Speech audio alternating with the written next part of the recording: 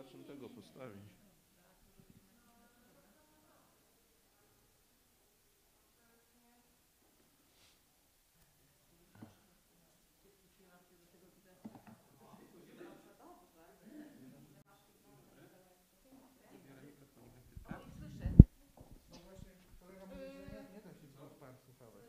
Chyba, że... Chyba, że. Chyba, że jest drugie wyjście słuchawkowe w tej stacji, ale nie sądzę.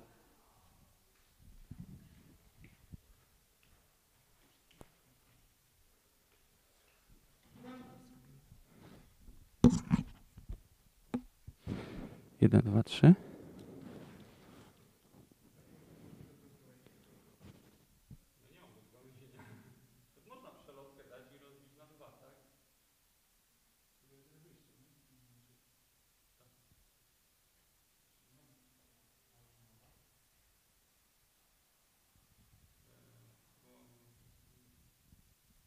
1, 2, 3.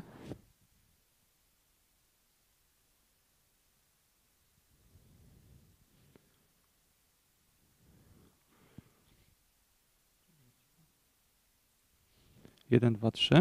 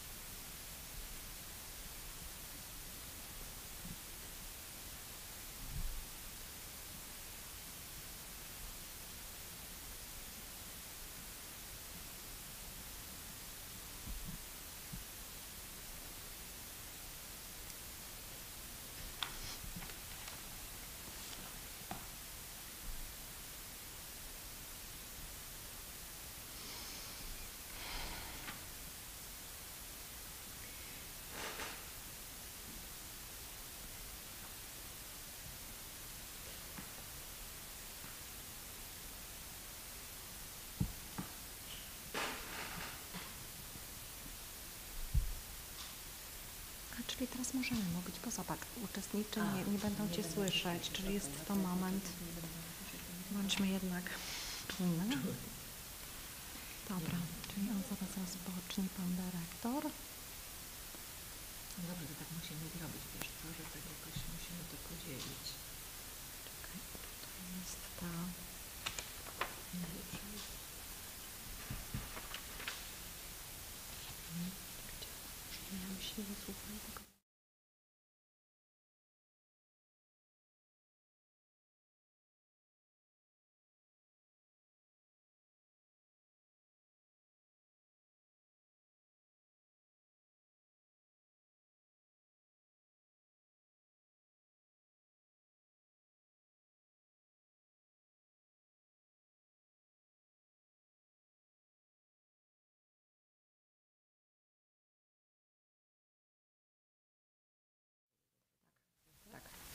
Jest i Znaczy, po po- polsku, po- i po... tak?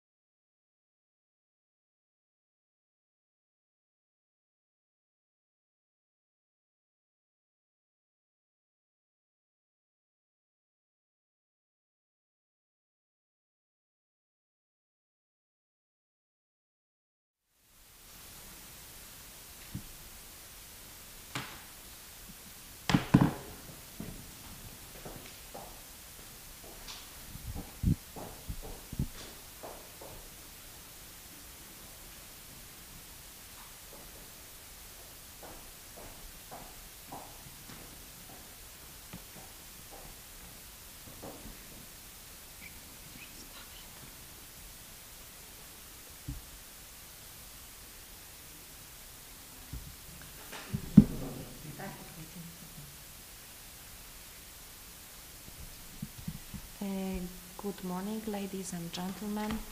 We are meeting during the kick-off meeting, uh, which starts uh, a project uh, implemented under technical uh, cooperation of the International Agency for uh, Atomic Energy. The, that, uh, the title is Promoting Safety Culture and Enhancing the Quality Assurance and Quality Control Capability of Nuclear Medicine Departments. This is a project addressed uh, to people who operate in the field of nuclear medicine.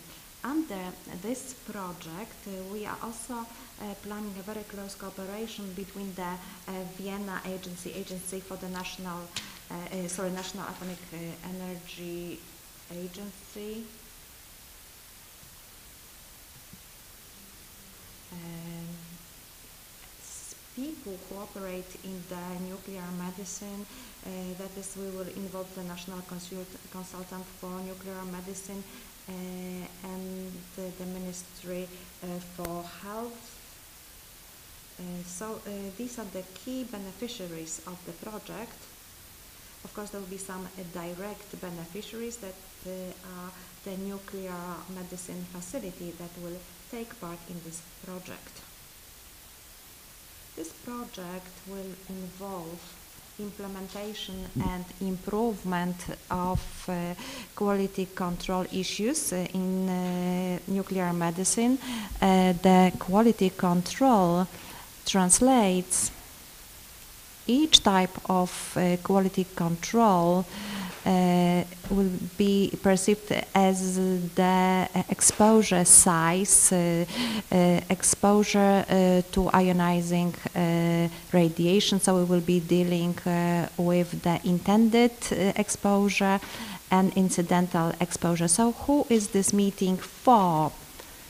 And the uh, results uh, will be for all specialists who are involved uh, in the issues of quality control, who are uh, employed by the nuclear medicine uh, departments. And during this meeting, you will be able to listen to mm, speeches, uh, lectures uh, uh, delivered by both Polish experts and an expert of the International uh, Agency for Atomic uh, Energy.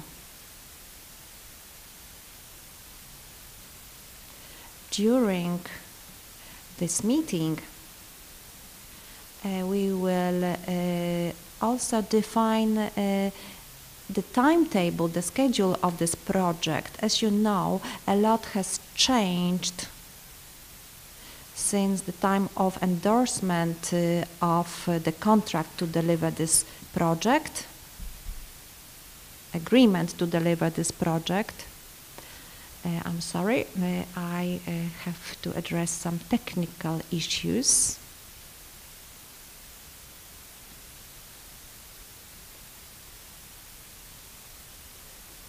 So a lot has changed, uh, changed uh, outside, and even the form of this meeting has been uh, changed completely.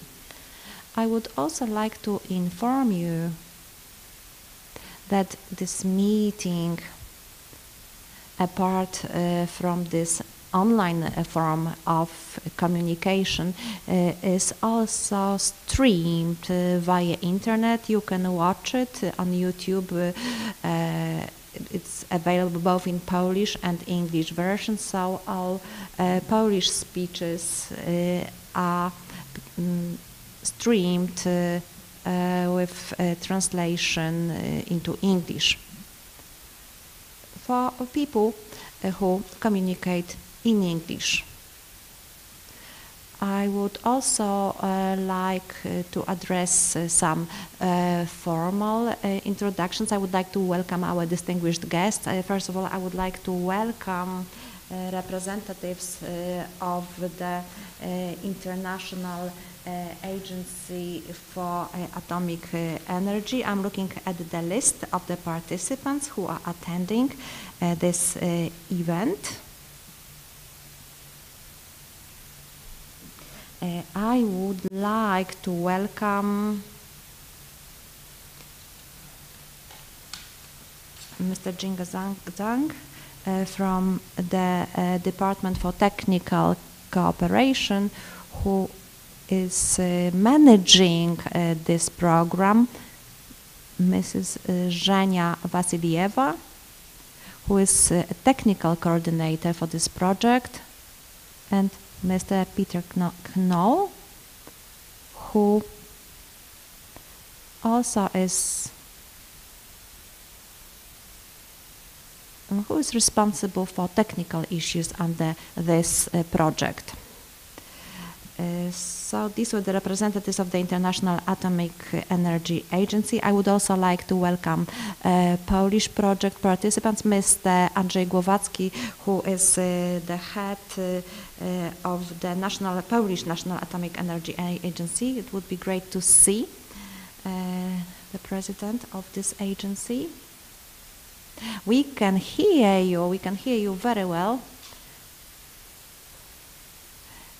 Uh, I will uh, give uh, the floor to the president uh, later on, but uh, still I would like to uh, provide you with some information concerning the event. Thank you. I would like to welcome Mrs. Anna Miszczak, who is the director of the Department for Public Health and uh, Family uh, at the Ministry uh, of Health.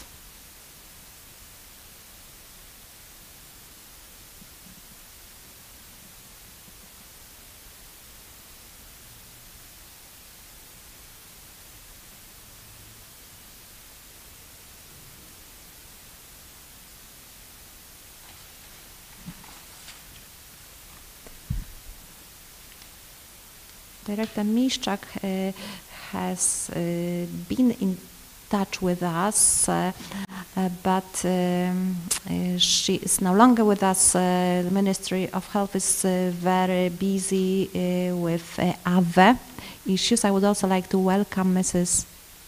Anna Kamińska, who is the director of the Department for Hygiene and Environment of the Chief Sanitary Inspectorate.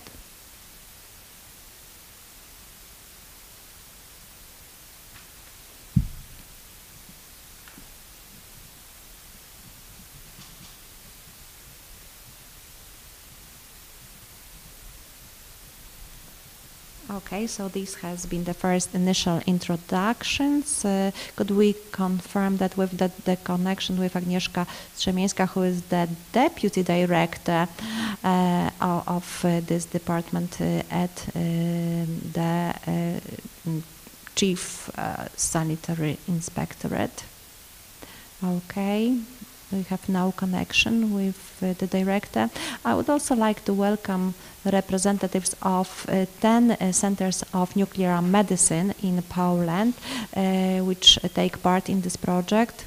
So, a nuclear medicine facility in Zgierz, regional uh, specialist hospital in Zgierz, the central clinical uh, hospital of the um, Medical University in Warsaw, the clinic of oncology, endocrin- endocrinology, uh, and the nuclear medicine in Warsaw, the uh, nuclear medicine department from Kielce, the um, nuclear medicine department of the University Hospital in Kraków, uh, center and, and uh, center of uh, oncology in Bydgoszcz, University Clinical Center in Gdańsk, the nuclear medicine department of the Pomeranian University Medical University in Szczecin, Medical University in Łódź, the department that deals with the protection, nuclear medicine center of uh, the hospital in, clinic in Wrocław. I would also like to introduce some other person who will be joining us during this, these two days. I would like to uh, introduce uh, people who uh, represent our in institution on implementation of this project and the meeting. The, the Dorota Wróblewska. Let, let us see. Mrs. Wróblewska.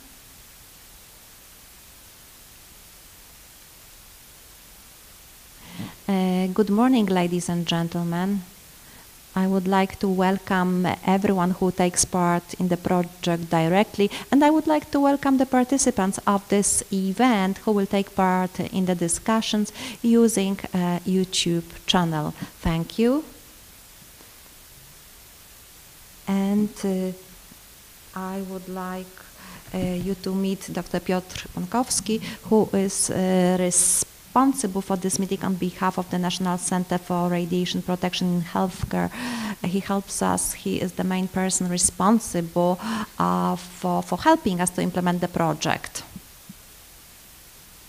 Please give me a second uh, because another technology is uh, indicating that Let's get back to uh, Director Kamińska.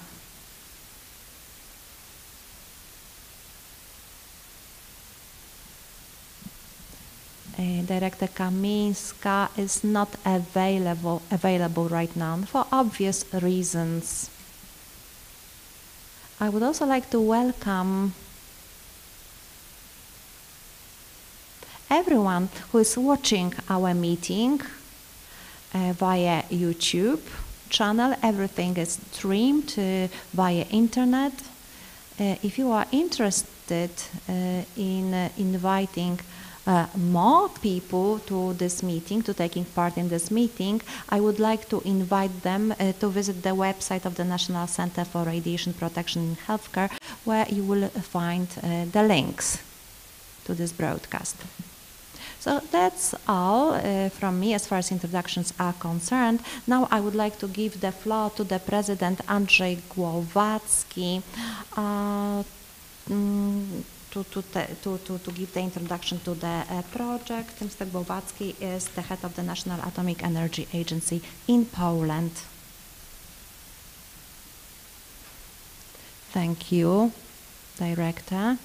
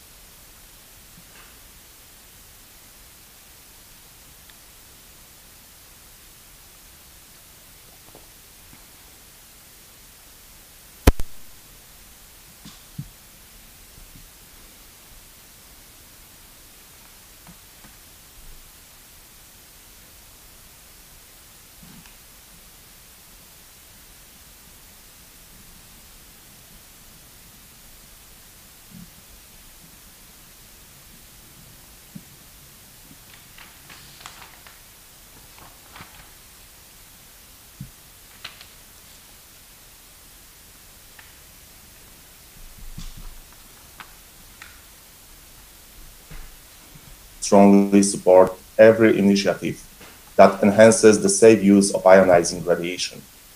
I'm sure that this symposium and the implemented project will contribute to the quality assurance in nuclear medicine and ultimately for safety of patients in our country.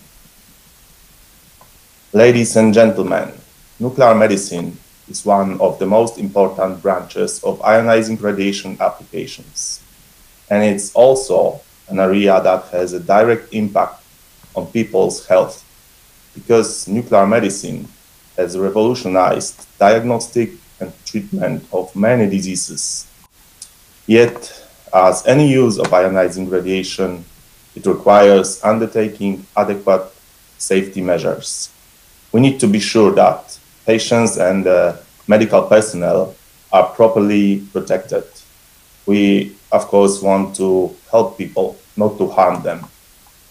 This is why safety culture, quality assurance in nuclear medicine department, departments across the country need to be constantly maintained. Also must be improved. Ladies and gentlemen, PAA, through technical cooperation with uh, uh, International Atomic Energy Agency, actively supports so-called national project. I'm sincerely glad that National Center for Radiation Protection in Healthcare has become another institution that benefits from the IAEA support.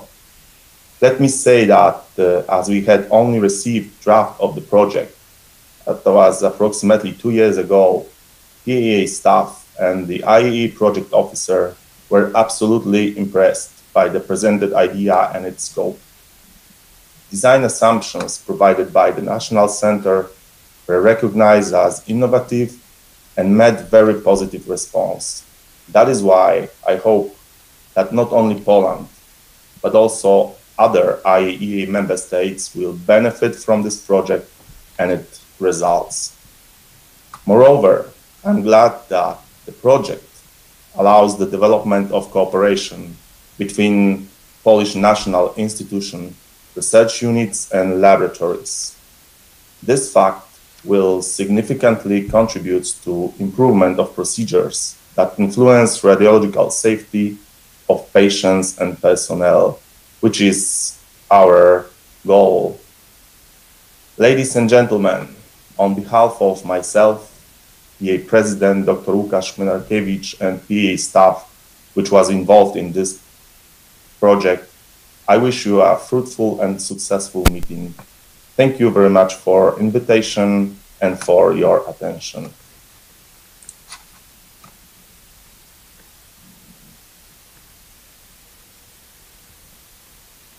Dziękuję, Thank dziękuję you. bardzo za Thank you very much, wystąpienie.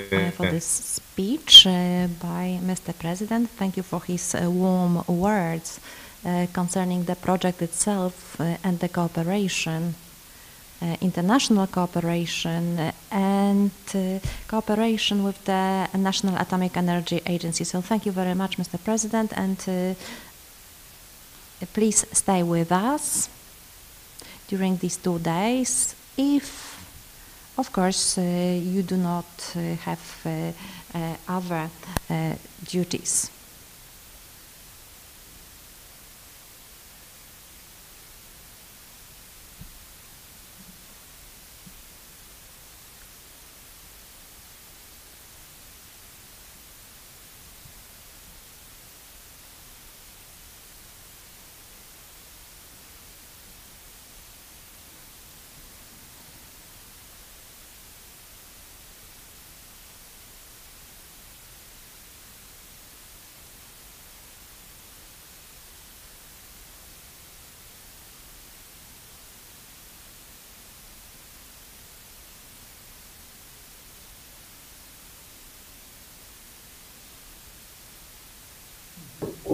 Darius, can you hear me? Okay, great. Yes, we hear you. Great. Ladies and gentlemen, uh, it's a privilege to speak to you at this session. Unfortunately, I cannot be with you at the moment due to the current situation. The International Atomic Energy is the world's central intergovernmental forum for scientific and technical cooperation in the nuclear field. It works for the safe, secure, and peaceful uses of nuclear science and technology contributing to international peace and security and the United Nations Sustainable Development Goals. Nuclear medicine, as you all know, is a very interesting field, and it helps to improve dramatically the medical diagnosis. It has been shown previously that not only with PET, but also with SPECT quantitative imaging is possible. Obviously, this does not come for free. Therefore, I'm very happy to work with Darius and Piotr in this TC project from the agency. Our project involves conducting specialized training for medical physicists in the field of quality control in nuclear medicine, purchasing additional necessary equipment for QC, and creating a secondary standard laboratory equipped with a radionuclide calibrator with a set of calibration sources used for calibration of devices. Furthermore, we are also supporting the symposium by sending an international expert. Professor Mario Marengo is a medical physicist and expert in radiation protection. He is the former director of medical physics department of the University Hospital of Bologna. After retirement in September 2018, he continues his activity as adjunct professor for the University of Bologna and as a technical expert for the International Atomic Energy Agency. He is the author of more than 90 original publications in peer-reviewed scientific journals and of numerous reports at national and international congresses. So we are very pleased that Professor Mario will give at this symposium two talks. So I hope you, that you will enjoy his talks and, uh, and, and thank you very much. Please enjoy. Bye-bye.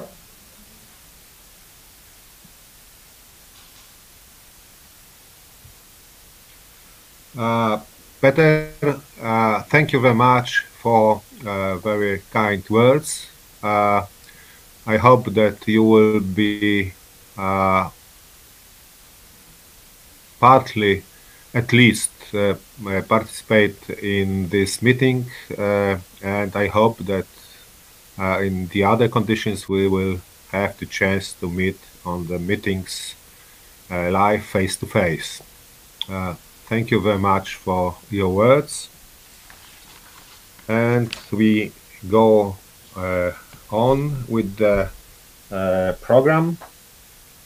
Uh, and some information for uh, English speaking people. Uh, all presentation during this meeting will be uh, held in Polish or in English, mainly in Polish, but uh, all uh, mm, uh, slides will be delivered in mm, English and you will have the online translation um, into English on the streaming for YouTube. The links are on our webpage. So please you if you will be uh, interested in the words please use uh, uh, youtube to uh, hear the translation in uh, in uh, in english okay, so let's start with the first presentation. I will change to Polish now. Uh, pozwolimy, pozwolę sobie e, w tej chwili Now rozpocząć I would like sympozjum to, od uh, pewnego start the omówienia tego symposium, e, uh, projektu. telling E, you about the Mamy w project. tej chwili, e, no w zasadzie jesteśmy o czasie, także Uh, we are e, on time. bardzo proszę o prezentację. So uh, let's see uh, the presentation. Thank you. Ladies and gentlemen, uh, the project uh, uh, started to be developed several years ago. We had completely different situation. Uh, we have been developing the project for six months. Uh, uh, at the end of the last year, uh, the project has been approved by the Agency for Implementation, and we thought uh, that everything was going as it should. Uh, we had uh, a timetable, we have agreed everything. Uh, the project is to last two years, uh, between 2020 and 2021. But uh, March complicated our plans, not only our plans, everyone uh, plans throughout the world were complicated. So the project title suggests uh, what this project will be about. Secondly, it will be implemented under technical cooperation uh, uh, by the International uh, Atomic Energy Agency. This means that the entire uh, project is focused on technical uh, assistance. It's not a project that is to fund uh, some cost of personnel. So this project should uh, allow people to share experience, to use uh, the experience uh, uh, shared uh, under the auspices of the International Atomic Energy Agency in order to, uh, to, to promote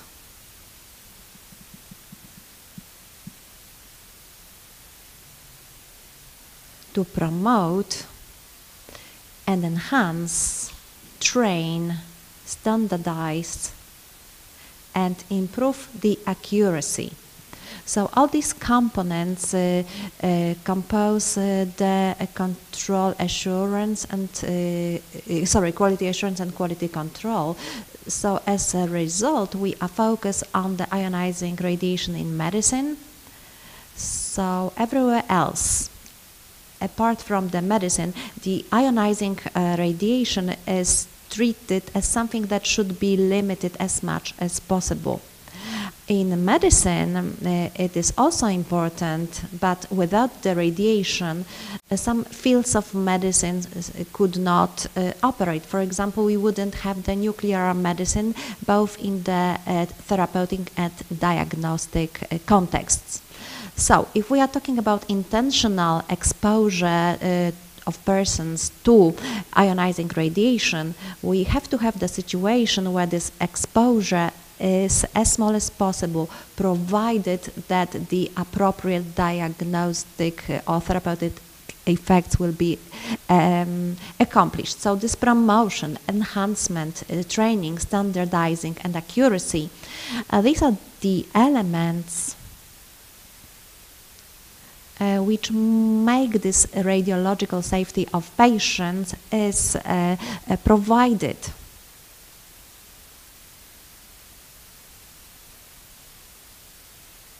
Objectives.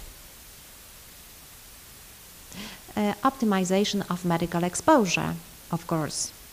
So uh, this is the key term in all um, fields of medicine because uh, optimization is uh, quite a general term. We had a lot of legislative experience when we were developing uh, on the Atomic Law uh, Act. Uh, we were uh, considering the professional exposure and exposure during uh, other non-medical causes. So it's relatively simple to uh, describe it in terms of numbers, but in case of medicine, it's often based on good practice. The good practice is again quite a general word, and part of the uh, good practice is optimization, without the optimization of the exposure to make sure that it's as low as possible. However, uh, the diagnostic uh, target must be accomplished. In nuclear medicine, quite often it's quite a big challenge. It's a completely different field uh, of medicine where X-ray radiation, for instance, is used. Uh, another objective is uh, to enhance capabilities of nuclear medicine departments in the field of ensuring uh, quality assurance and quality control. It is related to training uh, of medical physicists in terms of uh, quality assurance and control. It also depends on equipment used uh, for these purposes. So this project addresses uh, and supports these themes, these objectives.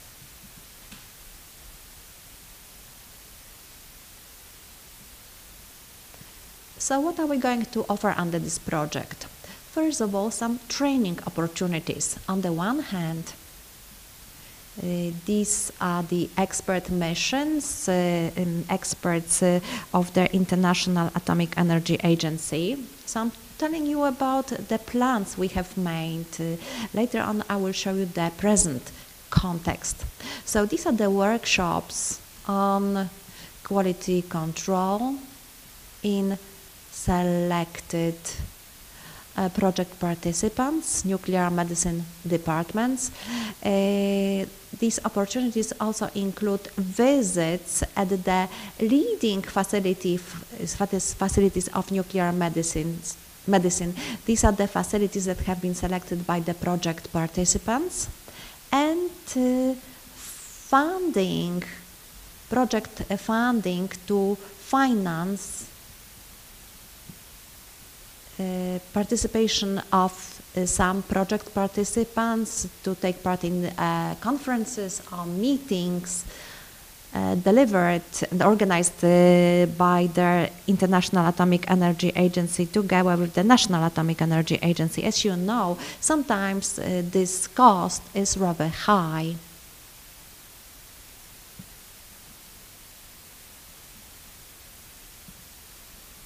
What else? We have also planned some activities uh, that will be focused on establishing two reference centers uh, dealing with the uh, quality control and quality assurance in nuclear medicine.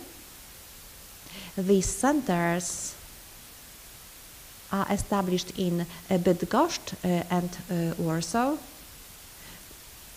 This also relates to conducting some some tests to uh, to, to to measure activity in the nuclear medicine departments and procurement. Uh, the some some quality control equipment will be purchased, so we will be uh, buying Jaszczak phantoms uh, NEMA body phantoms, the four quadrant bar phantoms, and uh, flat sources with cobalt 57. We will also purchase uh, a calibration equipment, calibrator, together with reference sources to calibrate uh, the um, activity uh, uh, measuring devices. Uh, so now I will tell you who the project uh, parties are. So there will be 10 nuclear medicine departments uh, that have been selected uh, together with the Polish Society of Nuclear Medicine, the national consultant in nuclear medicine,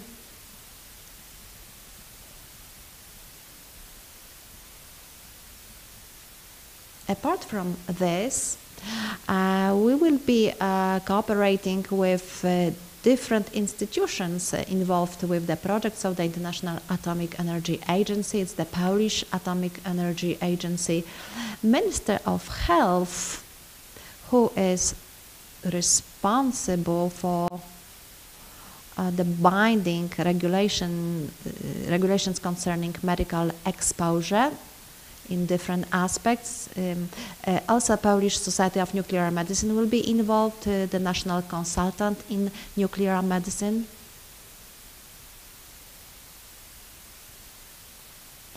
The chief uh, sanitary inspectorate that also has uh, a part uh, to play in terms of assessment of uh, performance of safe exposure to patients under medical exposure and the National Center for Radiation Protection in Healthcare.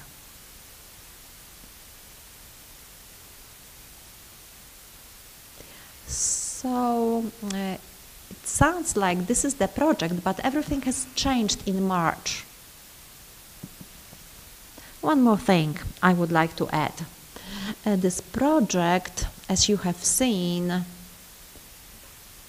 is participated by these 10 nuclear medicine departments and the National Center, but also it is uh, the project uh, and the, the project, this project's value is almost uh, 300,000 euro. So this is quite a significant amount. This is a project that is to last for two years, but under this project, we will be buying a lot of things. We will be uh, organizing meetings, conferences, quite a lot of them. I would like to say that as far as this year is concerned, we had rather broad uh, plans in the uh, fourth quarter of this year. I would like to remind you that uh, the fourth quarter has already started and we are just having a kick-off meeting of this project. We were planning uh, this uh, meeting to take part in the first quarter. So if you remember, we were to meet in March 2020. But um, due to the COVID situation, pandemic, uh, we had to change the plans, and um, we also were to hold a congress of the Polish Society of uh, Atomic uh, uh Energy. To be held. Uh, uh, we were also going to organize workshops on quality control and quality assurance. We were planning I'm looking at the slides, we were planning to, to, to buy some uh, uh, items. And actually, these purchases uh, are, are, made, so this is, um, this is on time. We were also planning some visits to to uh, standard standard labs. Uh, four people were to take part in the standard uh, labs. Mm, so uh, these meetings, these conferences, the three the trips uh, didn't take part uh, this year. they have not taken, they have not been organized, and they will not be organized this year.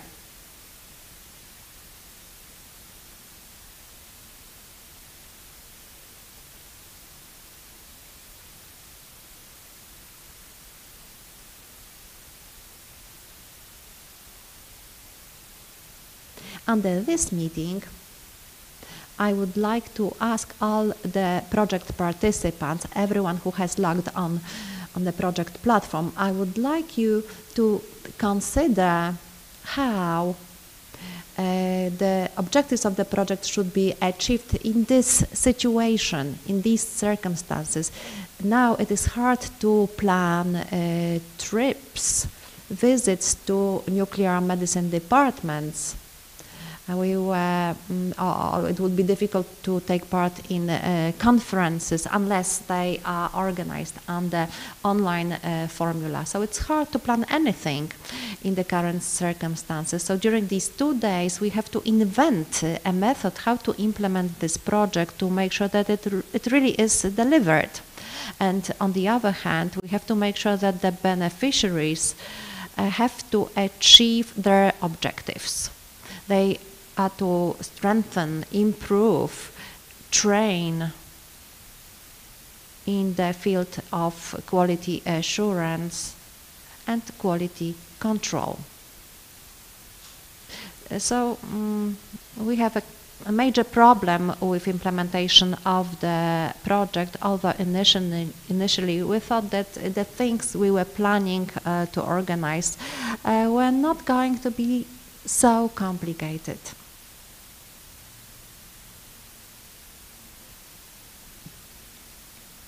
What else are we planning to do under this project? First of all, uh, the opening meeting, the symposium, is taking part right now. We originally we were planning to have it during the first quarter of 2020. Uh, we also face a problem concerning workshops on quality control. The workshops uh, were treating as a satellite a symposium uh, during the Congress uh, of the Polish Society of Nuclear Medicine. So we have no idea right now how to deliver these objectives. Uh, the online uh, form is always possible, but sometimes uh, we need something uh, more than just online um, streamline. Uh, sometimes we need some uh, physical meetings to see physical equipment. We need to operate in the real place, real time. Purchases, procurement. Well, as far as procurement is concerned, uh, everything seems to be according to the project uh, timetable. We are go- we are planning to complete the, the procurement uh, this year, by the end of this year but due to the current situation, uh, we wanted to uh, complete uh, all the purchases in 2020, uh, both the ones planned for this year and the ones planned for 2021. In 2020, probably we will not be able to achieve uh, any more in terms of implementation of this project, unless something changes, but I'm rather doubtful.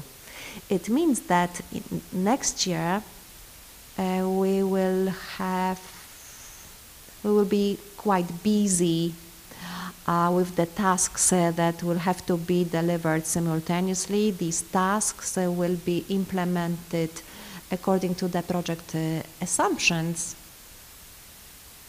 not necessarily according to the timetable we had originally planned. We will be also changing some formula, but uh, we will do our best to follow uh, the method planned under the project. Uh, and of course, we will be agreeing this uh, with the International Atomic Energy Agency. I would like to thank the agency for being understanding. So far, the project cooperation has uh, been uh, great. I am very happy that the team uh, of the agency is cooperating with us uh, very well. The team is very open, is very helpful to make sure that this project is delivered uh, according to the plans.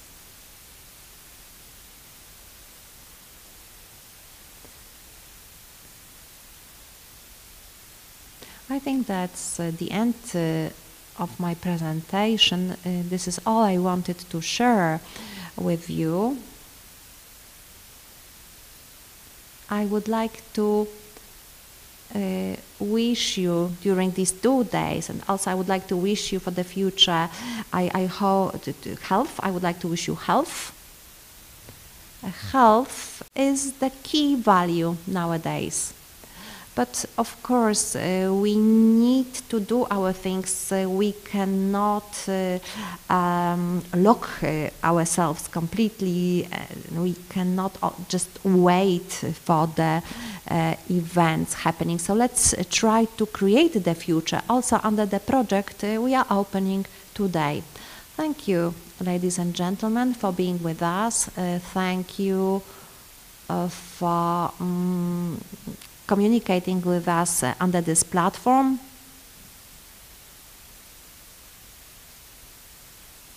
The platform of project users. I would also like to thank other persons uh, who have uh, contacted uh, us via YouTube. I hope that we have some YouTube participants. Uh, I think that uh, now it's time to commence the next speech. Piotr, I would like to ask you uh, to cancel my presentation, to hide my presentation. Thank you.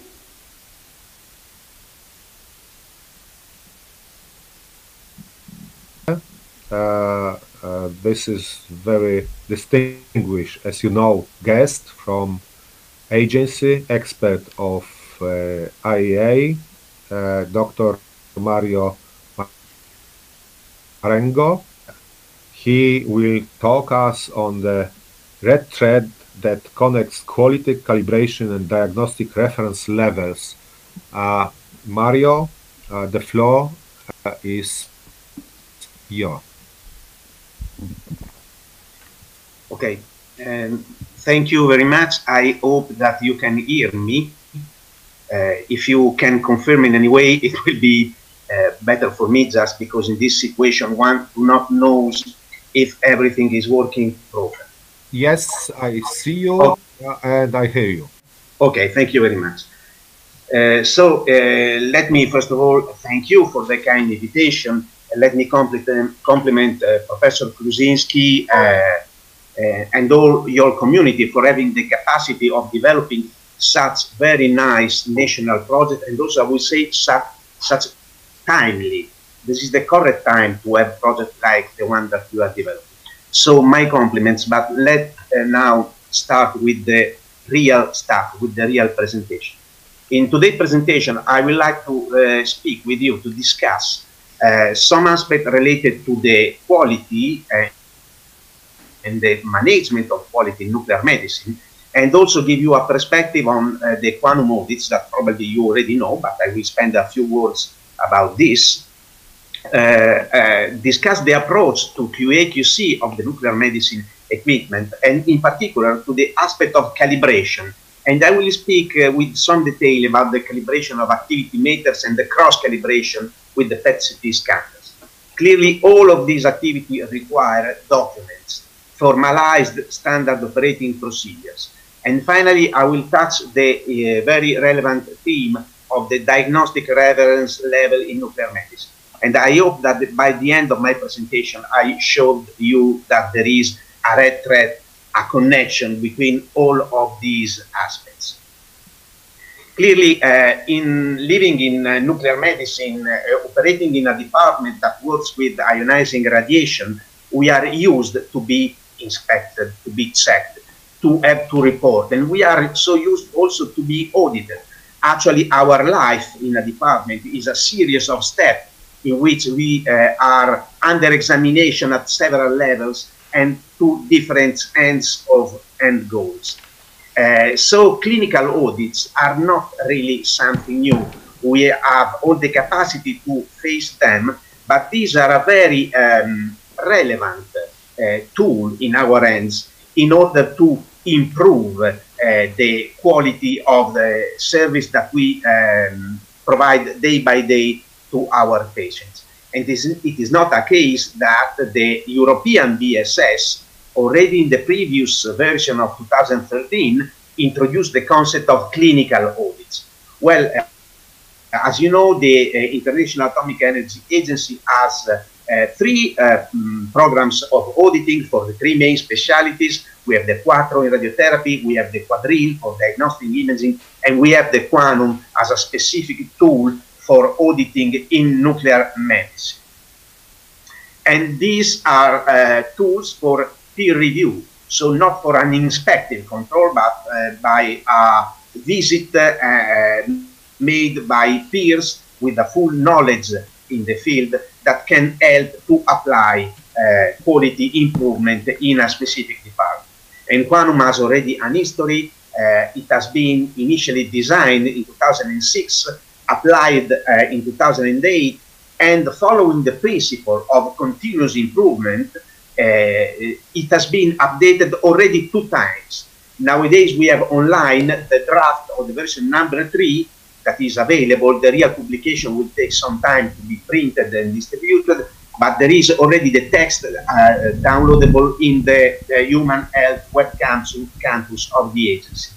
And nowadays, we are finishing exactly in these weeks. Uh, we are finishing a new companion document of the plan that is a document on management of quality system in nuclear medicine that will help in developing a quality system and the tools of a quality system. The example a quality manual and the most important procedures that should be in place to have a vital quality system in operation. Uh, this team of peers that uh, uh, is uh, performing the external audits under the umbrella of the agency is a multidisciplinary team. And this is a very important aspect because once again, we are speaking about a comprehensive program of audit in which not only the uh, quality of the, uh, let's say, QC of a specific type of equipment is taken in, into consideration, but all the aspects that uh, are involved in performing the, the practices in nuclear medicine are considered, starting from the review of the procedures, uh, observation on the practical implementation of the activities, interviews with the staff, uh, review of, of, the previous audit, check also of the reports, of the clinical reports of the examination. And this is made uh, using a pre-formatted uh, checklist that is a tool also in uh, the um, practical application of internal audits. Clearly, in order to make the uh, comparison between the observation and the expected standard, we have to define the standard. And in most part of the cases, these are actually coming from uh, the uh, same IAEA documents. There is a variety of very useful, very relevant documents on all the aspects of uh, quality assurance of equipment, uh, radiation measurement, etc and in some cases also national or international guidelines like the one given uh, by the ENM or by the uh, American SNM Society of Nuclear Medicine. And uh, the results of the audit are expressed on a semi-quantitative scale of levels of conformance so that it's, it is possible uh, that are defined in this table, but I'm not uh, delaying here this uh, uh, semi-quantitative analysis allows us to show the result in, in, such a type of polar graphs. In example, this is a, a, a pre-audit, an internal audit made by the staff before a confirmation audit by the, made by the external team of the agency. And you see that we have the comprehensive, comprehensive score in all the sectors, starting from the definition of strategy, the administration of the department, the management of human resources within the department, going to the management of the quality system, QA/QC of the equipment, IT, radio pharmacy in its different levels. So this is a sort of, I, I like to think to this like a compass, or if you prefer, like a bullseye analysis of the quality system in your nuclear medicine department. And the comparison of the result of the internal audit with the uh, external audit can show you the uh, sectors in which you are really strong and the sector in which there is the need of spend more energy in order to consolidate or, or improve. But uh, let now uh, go to the aspect of quality assurance and calibration in general. Uh, so uh, I don't like when we consider the necessity of uh, quality assurance and uh, calibration of the equipment only because they are recommended in some type of uh, regulatory reference, because they are in our national radiation protection law or because they are included in the European BSS. It is important for us to understand that quality assurance is the basis for quantitative procedures in nuclear medicine, is the base, the basic pillar in which the performance of nuclear medicine practices relies. But uh, uh, to do proper quality assurance, we have not to operate only within the box that you see here in the right part of the, of the slide, that is the typical uh, activity in nuclear medicine. We are using the camera we, uh, we do a constancy test, and we compare with the standard. If everything is okay, we continue to use the camera. If something is not, not okay, we activate a corrective action that can be try to do a small calibration, call the service, etc. But the, according to the International Electrotechnical Commission, the life cycle of an equipment is not limited to its uh, continuous use, but the real application of quality assurance starts from the very beginning of the life of an equipment at the time in which it is conceived, is purchased, and the specification are written. On the basis of this specification, we can perform acceptance tests, and on the basis of the result of the acceptance and performance test that we do uh, when the equipment is brand new and perfectly calibrated by the company, we can obtain the reference values that will be used as the real good standards in the life of the equipment. So there is much more than uh, the routine use. Also, the design of the purchase of an equipment and the specification are a uh, key component in the quality assurance cycle.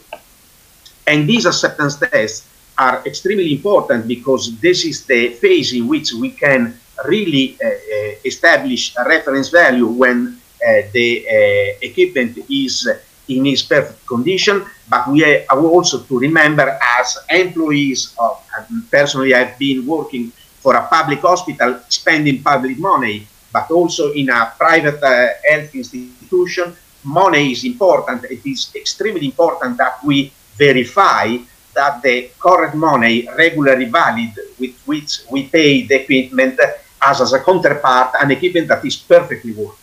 So this is important not only for uh, the administration, but also to establish the safety and quality of the uh, practices that we perform on our patient.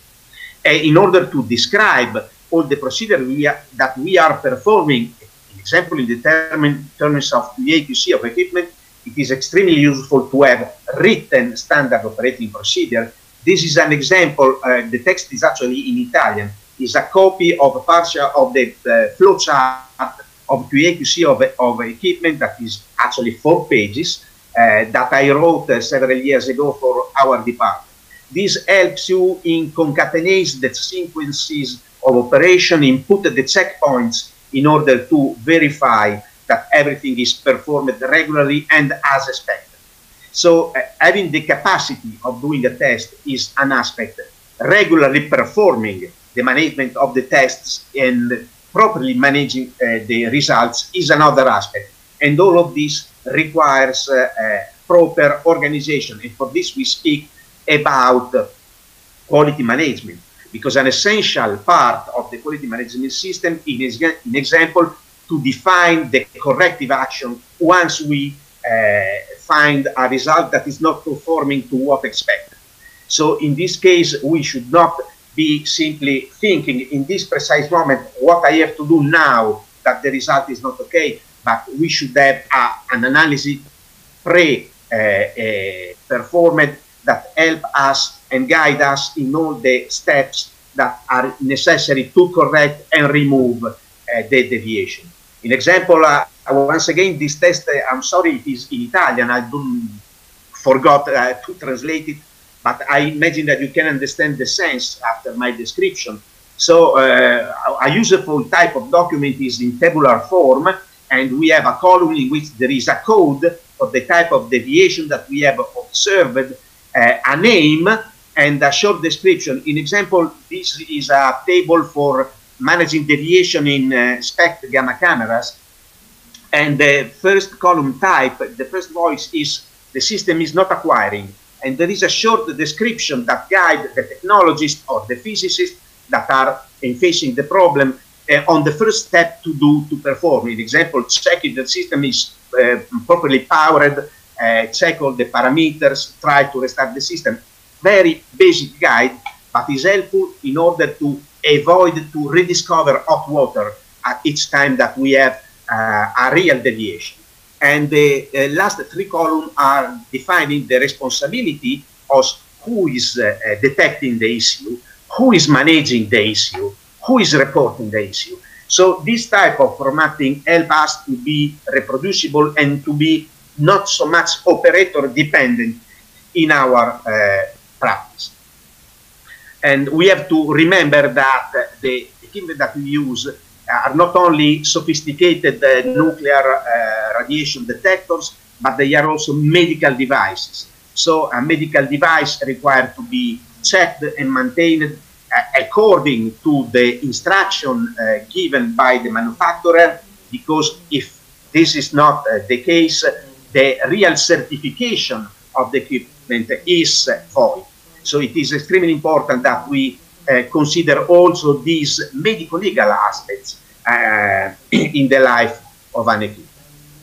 But let me now enter in specific in the aspect of calibration and with particular reference to the uh, activity meters, the so-called dose calibrators. Uh, and it is important when we uh, face a new aspect or we are going to revise our practice to ask ourselves what do the basic safety standards say? Let me take a minute before writing the new standard operating procedure or before uh, changing something in our practice. Let me check what the BSS say. And the BSS of the IAEA are extremely important. The last version had some very relevant concepts that were absent, unfortunately, in previous versions, but now they are in place. And in particular, the BSS say in this version that optimization should be applied not on an average level, but for each medical exposure. So we should have a point of optimization for each patient.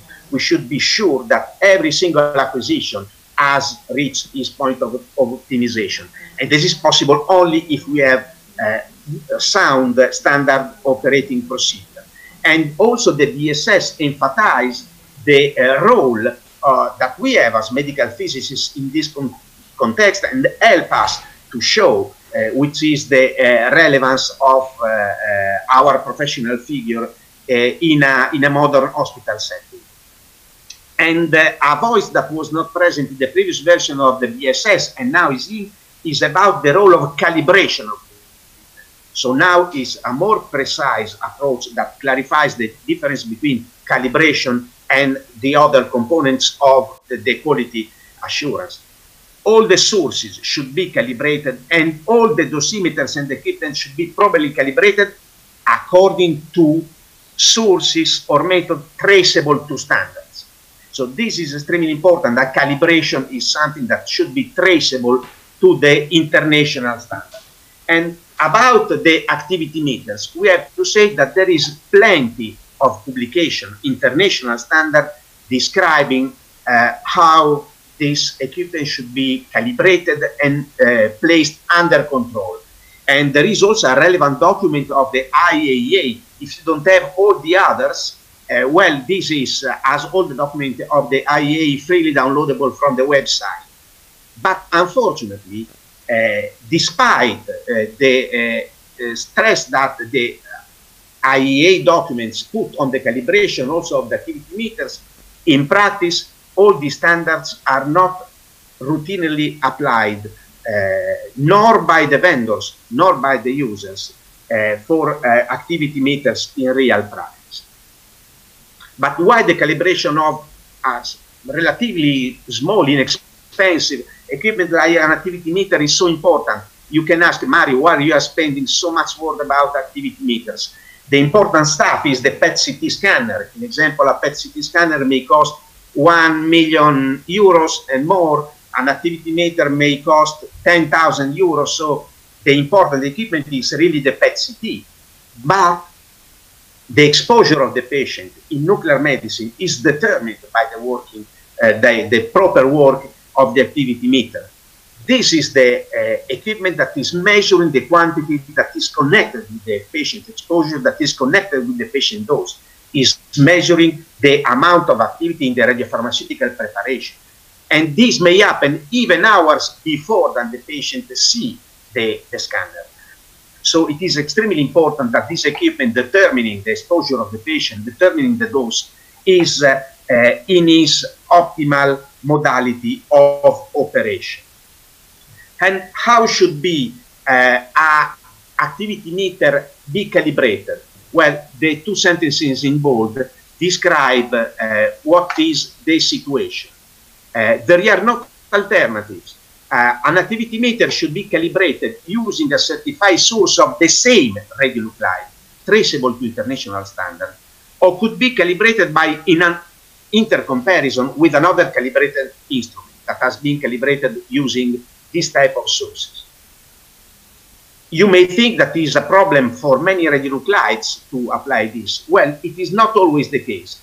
Uh, we have uh, uh, available on the market reference source, standardized source for a variety of radionuclide like uh, iodine, yttrium-90, lutetium-177. And look, also as regards fluorine and gallium-68, we have traceable sources available on the market. I will show you in a next slide, based on uh, technology developed in the United States uh, on uh, germanium-68. Uh, for some other radionuclide, short-lived, it is a problem to have sources or to have a simulated certified sources. And so the approach B is the most following, and this is the typical uh, solution in the case of technetium 99M. Uh, calibration factors supplied by the manufacturer are not a real calibration, are not traceable to international standard. Typically, the laboratory of the manufacturer of the activity meters are not secondary standard nor tertiary uh, standard labs. They, in many cases, in most cases, they don't have any of these calibrated sources of the specific clinically used radionuclide. Uh, these uh, uh, calibration in general are not traceable to the international standard. So the becquerel provided by a certain activity meters based on the uh, calibration of the manufacturer are nominal becquerel. Are the becquerel of Capintec or are the becquerel of Atomlab are not the becquerel of the international standard uh, system of unit measurement. And let me clarify with you what is not a calibration. Well, one of the most important manufacturers calibrates is uh, uh, activity meter using an energy uh, calibration curve that is essentially based on two sources of cobalt 60 and cobalt 57 and on a linear interpolation uh, between uh, the, uh, these extremes. This is not a traceable procedure. This is producing for monoenergetic nuclide some acceptable result, several percent uh, with an approximation of several percent respect to true result, but they are not in any case traceable to international standard. And this is a, a label that I, uh, I take a, a, picture during a QUANUM audit. Uh, the operator, the user was sure that as a, a calibrated activity meter because it was calibrated using a traceable cesium 137 source. Well, this is not a traceable calibration or at least, least this is traceable only for cesium 137. But the fact that an activity meter is properly calibrated for this long-lived radionuclide has not any signification on the correctness of the calibration for technetium 99M, for fluorine, for iodine 131. This is, uh, there is a complete independence between the calibration factor of each radionuclide. So this is simply a test of the correct functioning of the equipment for this specific radionuclide, but we cannot infer that is working properly also for the clinical used radionuclides. So there are not alternatives respect to what we have seen before. And it, it is a pity for me to notice that in many countries there are still national laboratories that, uh, for a cost, uh, perform periodical calibration of activity meters, and what they do actually is testing with the same sources that you may have at the hospital. A source uh, long-lived of cesium, cobalt 57, barium, and cobalt 60. This is a good testing of the status of the equipment, but is a testing of the status is not proving that the equipment is properly calibrated for the clinically used radionuclides, even if the energy are closed. This is not a phenomenon that is based on uh, Windows uh, uh, like in the gamma camera, no? a photo peak surrounded by a window. There are no windows in the activity meters. It's an integral detector and is the uh, mm, decay scheme of each individual radionuclide that determines the response in the, in the detector. So that it is necessary to, uh, if we want really to do this optimization for each patient, as requested by the BSS, to have a proper calibration for our scanners. So it is necessary to do an effort in order to improve the calibration, and I'm particularly happy to see that between the goals of your national project, this has been centered as one of the expected uh, goals to be uh, reached. And it is important to cross-calibrate the activity meters and the PET-CT scanner in particular. For PET-CT, it is true also for SPECT, but let me spend a few words uh, as regards PET-CT. Uh, in a, a nice uh, guideline and review several years ago, it was graduated the assess to the, the, the level of assessment of the imaging obtained by a study, going from the very basic, simply visual, completely qualitative analysis of the images. On the other extreme of the scale, we have the full kinetic, kinetic analysis of the data that is powerful but is difficult to apply in routine in a clinical context. And in between, we have the semi-quantitative analysis, analysis based on the standardized uptake value. And this is actually what is performed in the vast majority of the clinical center. And this is also the approach that is recommended by big international societies of nuclear medicine like the EANM that uh, uh, clearly indicates like the analysis with the SUV is the basic for quantitative approach in uh, nuclear medicine routine studies. But clearly this is uh, not simply the production of a value, a numeric value, because we are physicists, we like to be quantitative. It is not a fancy uh, number to be added to the result of the scan, but is really based on uh, physiology, is based on the Sokoloff model of the uh, uh, metabolism of FDG described in this figure. We know that at the equilibrium we have four constants described the kinetic model of this equilibrium, and these constants are in turn uh, related each other through uh, this equation to what is called the influx constant. Well, SUV is proportional to this influx constant. And this is simply to conclude, it was not an attempt to make a review of the uh, metabolism of FDG and the rational use of FDG uh, in clinical practice, but this was to remember that the SUV is not simply an indicator that comes from the images, but it is something that is based on the physiology to all of these analyses. And frequently this has been forgotten because uh, the SUV at the end is not so easy to measure. It is not a straightforward measurement, so that even if the equation is relatively simple, a lot of uh, uh, parameters can influence uh, its measurement so that the measure of SUV may be affected by big uncertainties. And this has led someone, some criticism, to say that the real acronym is silly, useless value. This is not the case. This is a negative approach that do not uh, collect the real message that is based on the physiological models that are behind this one. But in any case, measure reliably the SUV is not easy because a lot of factors uh, uh, described in this slide, for which I would like to thank my friend Terez Sera, uh, all these factors may influence the quality of the result.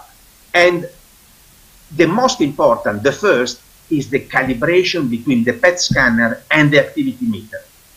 So the first point in which we have control of exposure of the patient and of the quantitative quality of the result is the calibration of the activity meter and how this is transported on the PET-CT scanner.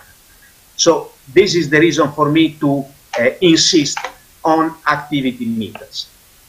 And as I told you, uh, there is actually nowadays commercially available a simulated source calibrated uh, traceable to the National Institute of Standard Technology of the USA based on the equilibrium between germanium and gallium 68 that is calibrated also as equivalent fluor AP So this make, makes possible for each pet laboratory by acquiring a commercially available source to calibrate accurately traceable to the NIST uh, their activity meter. And this is a technology that the NIST developed. You can see here the work of Zimmerman and colleagues. And then the technology has been sold to a commercial producer so that this source is readily available on the market.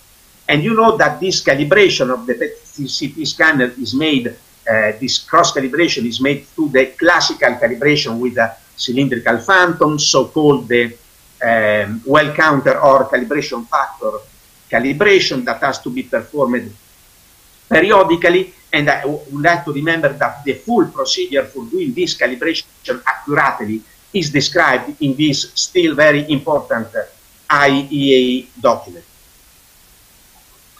And the yearly accreditation program, in example, uh, EARL, you know, is an initiative of the EANM, has shown like uh, as standardizing all the conditions, taking into account all the aspects that we see before, it is possible to obtain actually uh, reliable results, uh, comparable results within center and center, and within the same center, comparable results when the patient comes uh, uh, for a repetition of a test or is uh, uh, imagined in another scanner, so that after applying the, correct procedure of taking account all the parameters, the deviation between point and point in the recovery curve is within the uh, normal uncertainties and in a very acceptable rate.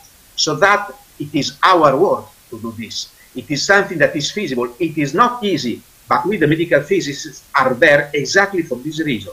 If we're uh, so easy, they will not need us. We are there just to take in account the complex situation and management of this sophisticated equipment. And as regards uh, the diagnostic reference level, as you know, these are extremely important in order to uh, um, evaluate if we are really in a good point respect to optimization for each patient. And the IAEA, uh, document says clearly that for each kind of studies, there should be a written protocol. For each diagnostic procedure, a written protocol giving the detail of all the uh, procedure to be performed step by step uh, for acquiring a study. And this SOP should be take in account also the appropriate DRL for the procedure.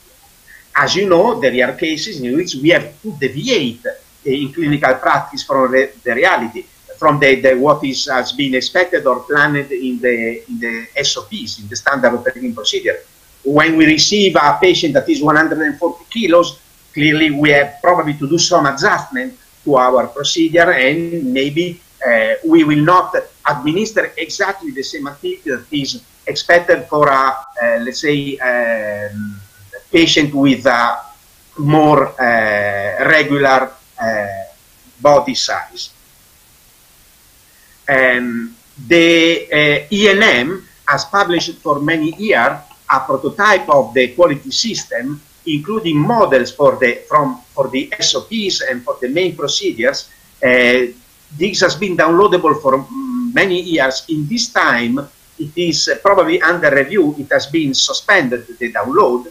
But in any case, as I told you, the new model, the new document that will be soon published by the IAEA on management of quality system in nuclear medicine will give a suggestion also for a straightforward formulation of the clinical SOPs in order to give to our doctors a formatted uh, approach that can be applied uh, very well in all the different situations.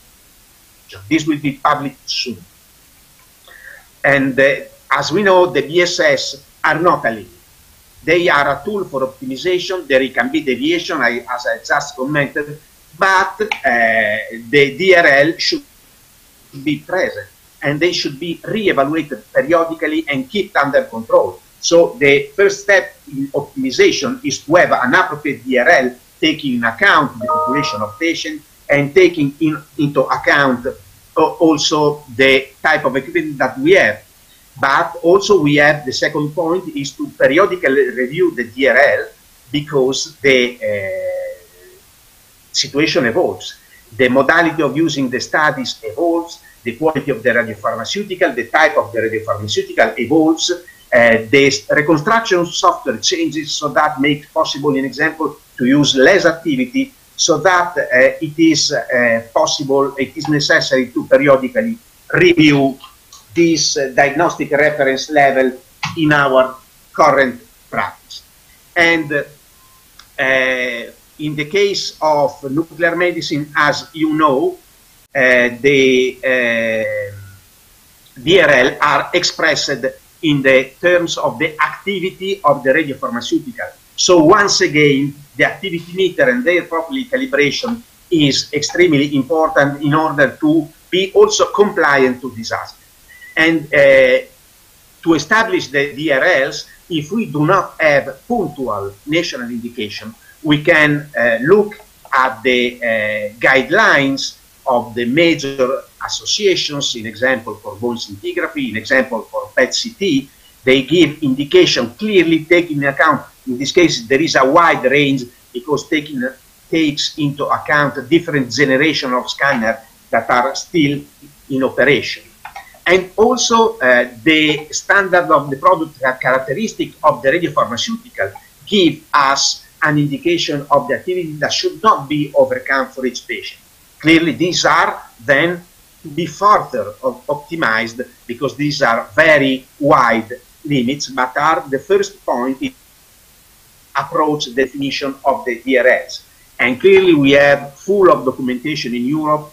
Uh, there is a, a document in the radiation protection series. Once again, this is freely downloadable in the website of the European Union that uh, suggests us how to correctly establish the DRL in our facility and give us also a review of what are the DRLs defined for the most uh, important examination in a variety of countries. And clearly there is a spectra of values, there is a scatter, because not always the situation is the same uh, in each country, not always the incidence of a pathology is the same, and so also the relative importance of the optimization may uh, have different application in different countries. Uh, clearly, in the case of multimodal examination, uh, we have to uh, define DRLs both for the emissive component based on the activity of the radiopharmaceutical as well as for the CT component. Independently, it is a diagnostic or a non-diagnostic, a DRL for each of these cases should be present.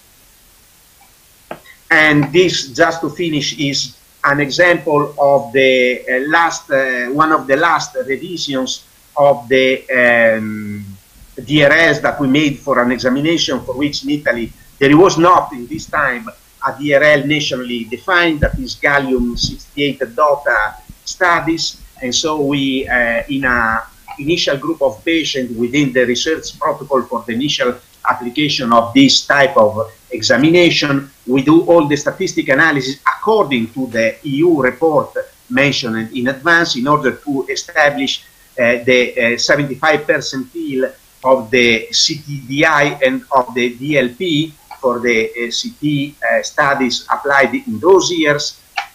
And also here there is the statistic of the level of activity administered to patient uh, in absolute terms and normalized by the weight of the patient. So that this is another example of the type of activity that we have to do uh, routinely in order to maintain the proper optimization of the scans uh, for patients. And so uh, with this, I'm going to uh, conclude my presentation. I, I would like to recap the most important aspect over which I try to insist. So uh, the BSS of the IAEA uh, stressed the uh, relevance of QA, QC, and calibration for all the equipment that we use. This was not so clearly stated in previous version, and so this is a very important progress uh, in the in the formulation of the basic safety standard.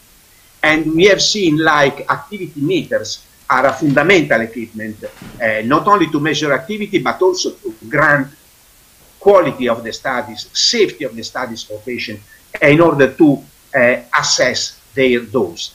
The activity should be uh, measured in a way that is traceable to the international standard, international system of measurement. So the becquerel in my hospital should be equal to the becquerel of the international standard, not to the becquerel of a specific company, should be really the standard uh, unit.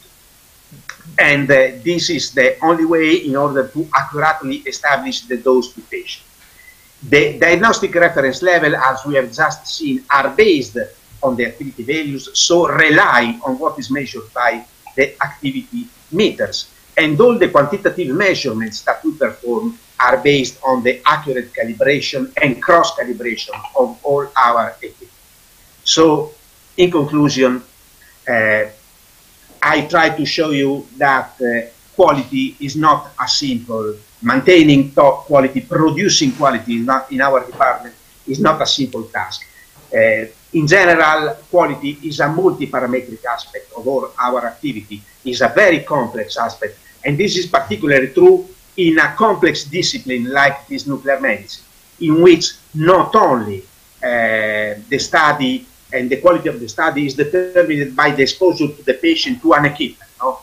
but it is the whole process, including the patient preparation, the diet that we administer to the patient before the study, uh, the pre-testing of the patient, the pre-medication, the administration of the real radiopharmaceutical, all these aspects are extremely important in order to establish the quality of the result.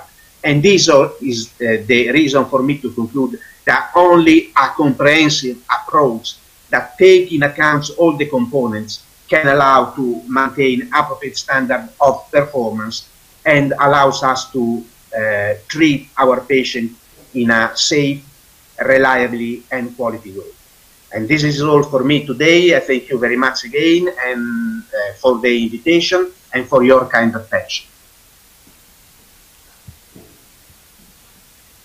Um, Mario, uh, thank you very much for your very complete presentation on the uh, quality control red threads. That's that's key point for uh, I think. Uh, but this is key point for quality control, quality assurance. We are open for discussion now. We have uh, 10 minutes now ahead to uh, discuss or to uh, give the question for the for our presenter, for our guest. Uh, we are waiting uh, on the chat, and uh, if just a moment.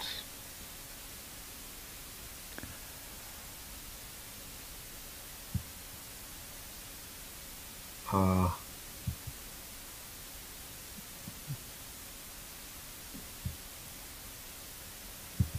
this is one of the questions. Thank you very much for the question. Uh, this depends on the modality in which the uh, regulation are made in the countries. Uh, in some countries, uh, in a limited number of countries, I would like to say, there are specific indication in the uh, national regulation on the modality of testing, which type of testing should be performed. Uh, I, I, will say that in my perception, this is the case in several countries of Eastern Europe.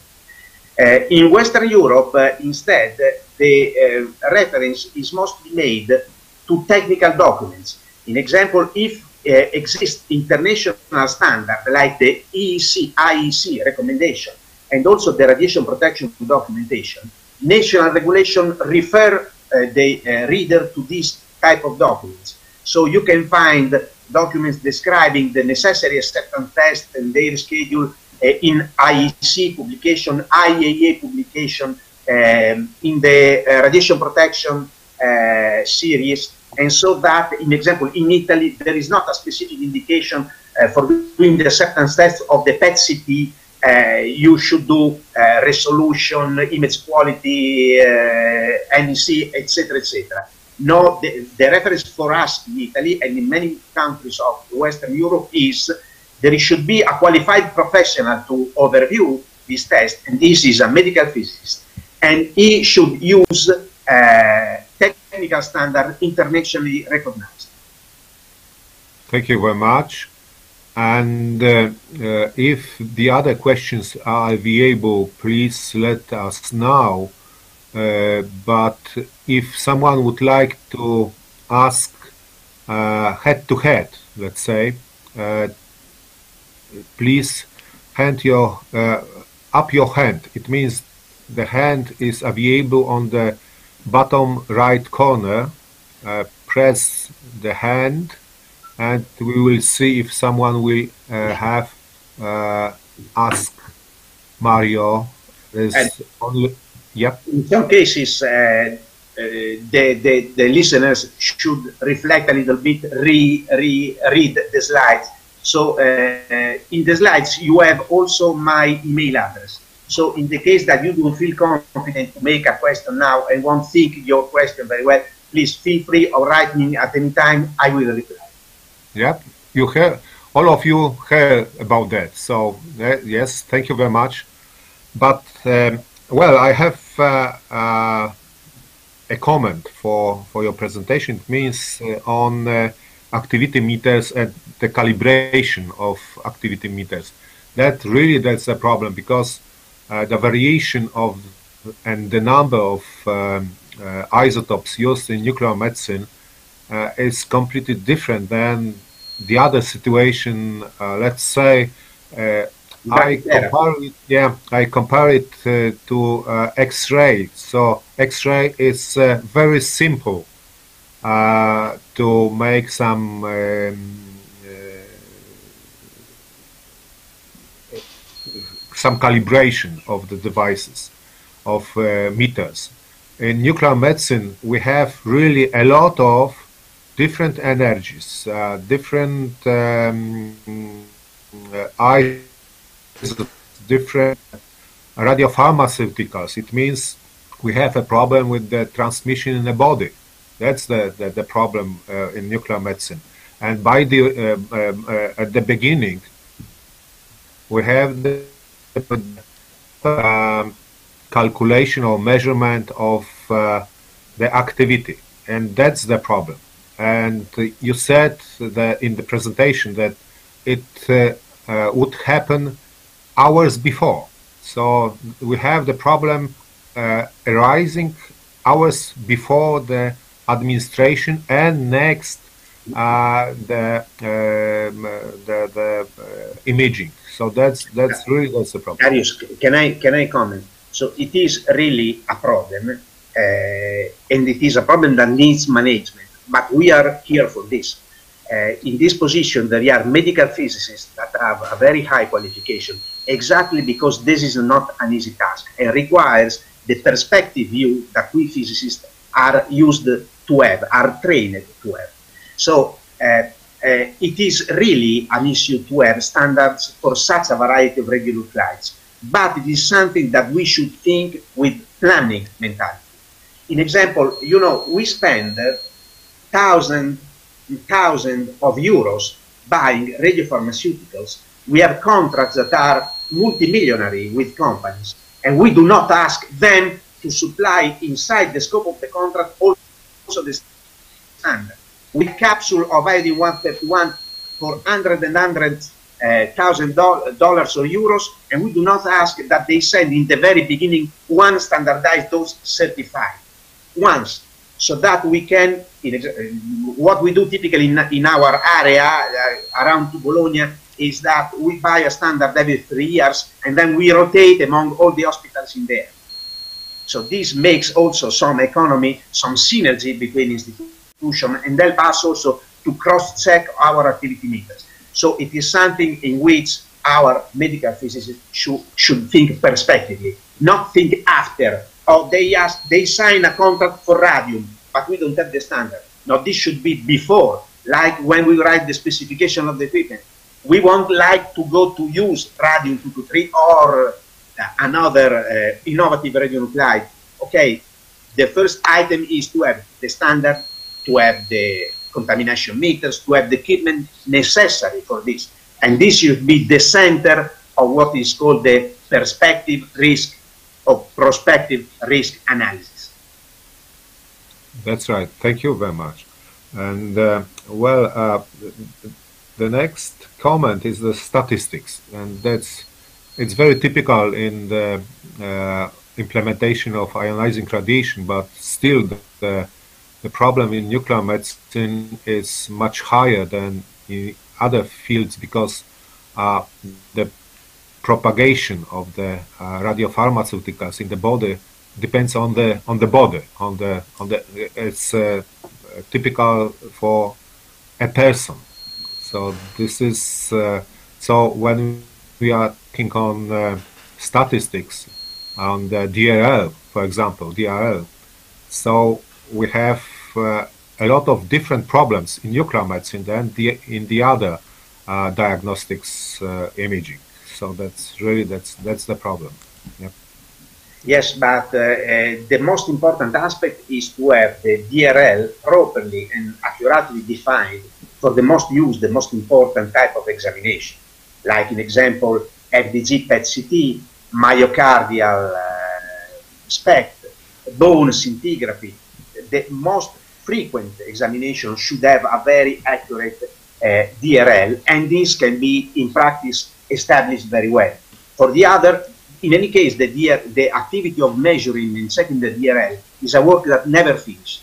So we start with a sample of patient and we can review after acquiring a uh, bigger statistic of patient after one year, but we have to start with an idea. It is not acceptable for me first to start to do the examination and after one year to do the DRL.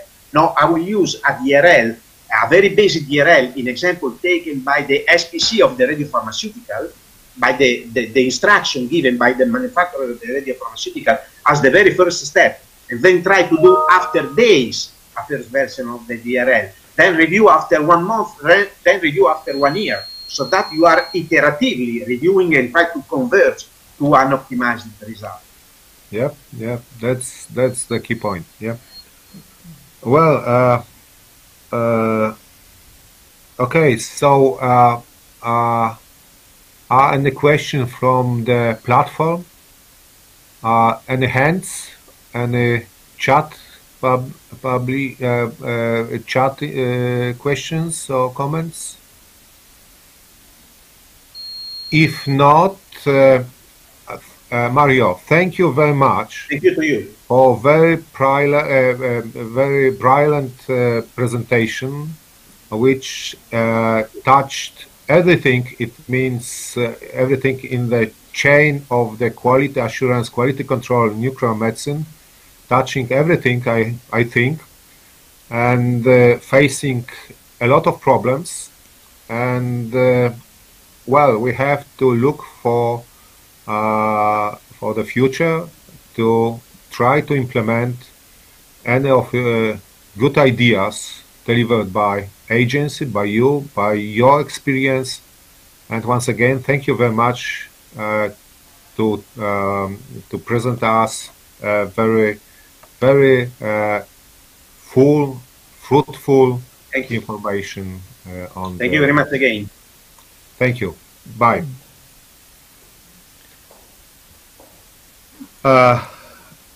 Wracając oh, well, do so, programu, mm, proszę Państwa, we are coming back to our agenda mamy w tej today. chwili 15 now, minut przerwy our we technicznej. have a 15 minute technical break. Originally it was supposed to be a coffee. We were expected to break for coffee or tea. So if you can just have tea and coffee uh, at your respective places. We'll meet back at noon, but before we uh, start the afternoon session, I'd like to introduce the speakers who will be having their presentations after the break.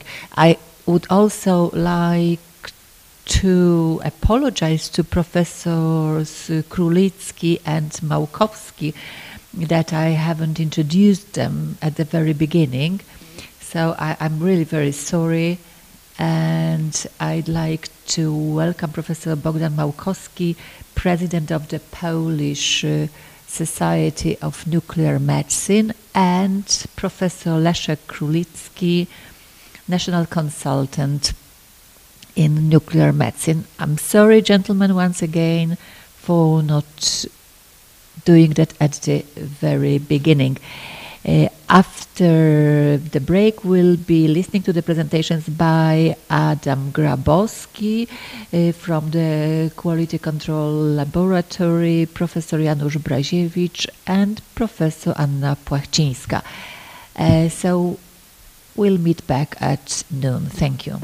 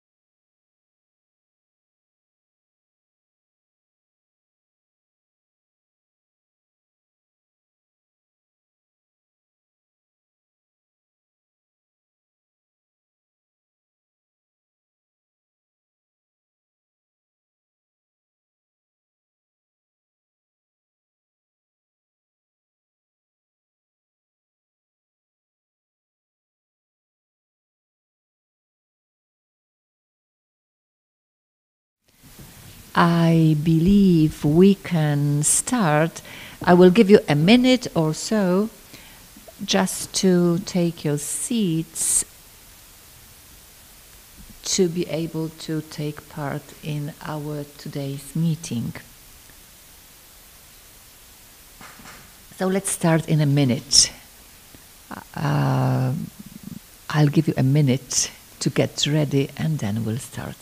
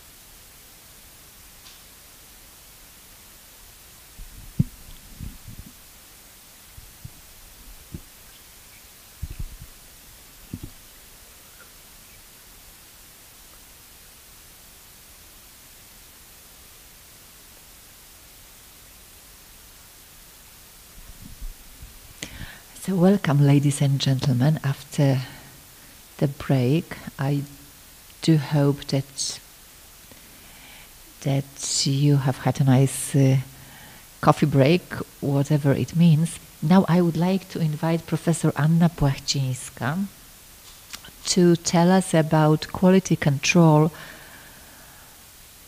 uh, in nuclear medicine. Uh, and to provide us with a comparison between American and European guidelines. Professor, the floor is yours. Yes, could we ask you to switch your mic on and, and camera?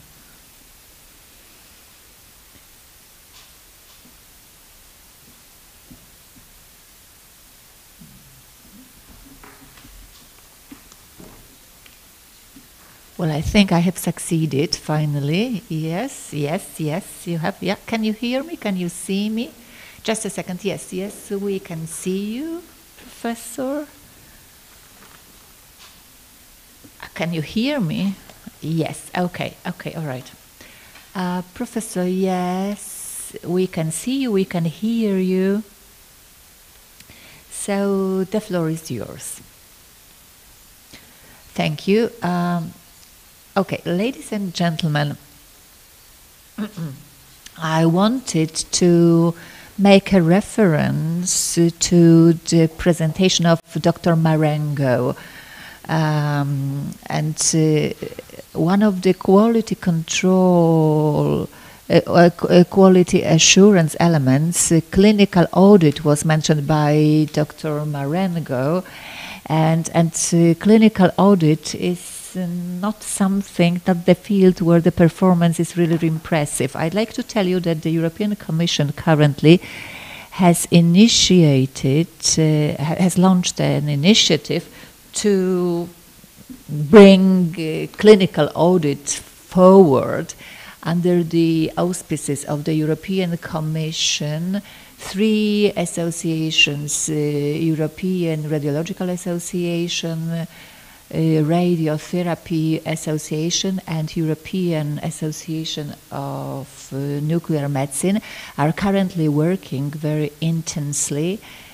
So we we should expect that in the early 2021 they will or we will send out a questionnaire which uh, with very in-depth questions uh, on the subject. And this questionnaire will be sent out to many important institutions and people. Uh, so, so, I think we should be getting ready to putting the clinical audit in place. Will be sort of forced to do that. Uh, that's as much as I wanted to add. I, just wanted to update you when it comes to, to the issue of clinical audits. But the, my main subject is quality control of uh, devices and instruments. I will start with Europe because that's much closer to my heart.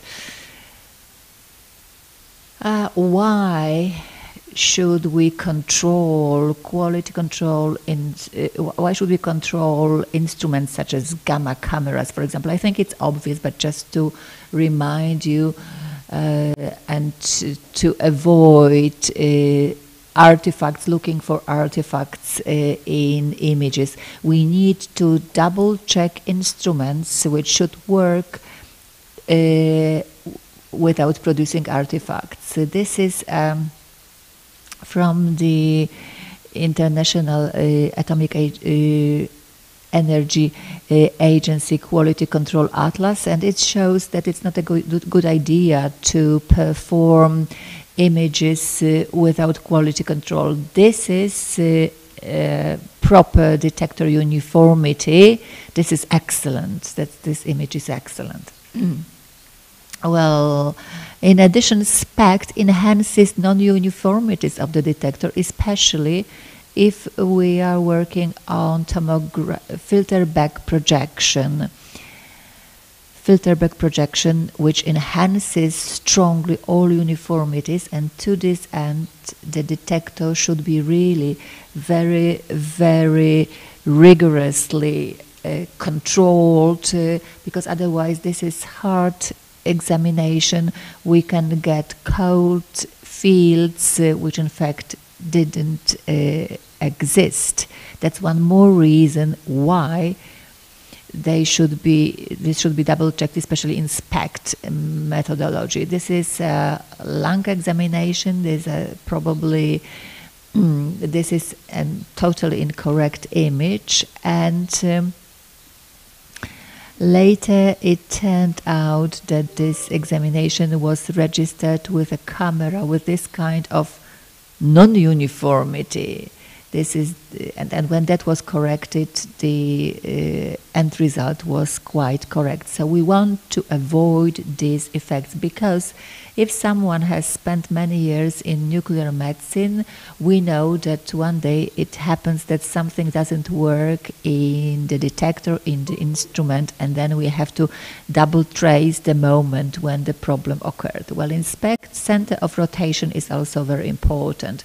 Of course, detectors should rotate uh, around common center of rotation. For big detectors, it's practically uh, undoable. They need to be calibrated and uh, they, that needs to be really controlled very strictly. Otherwise, we would get strange images.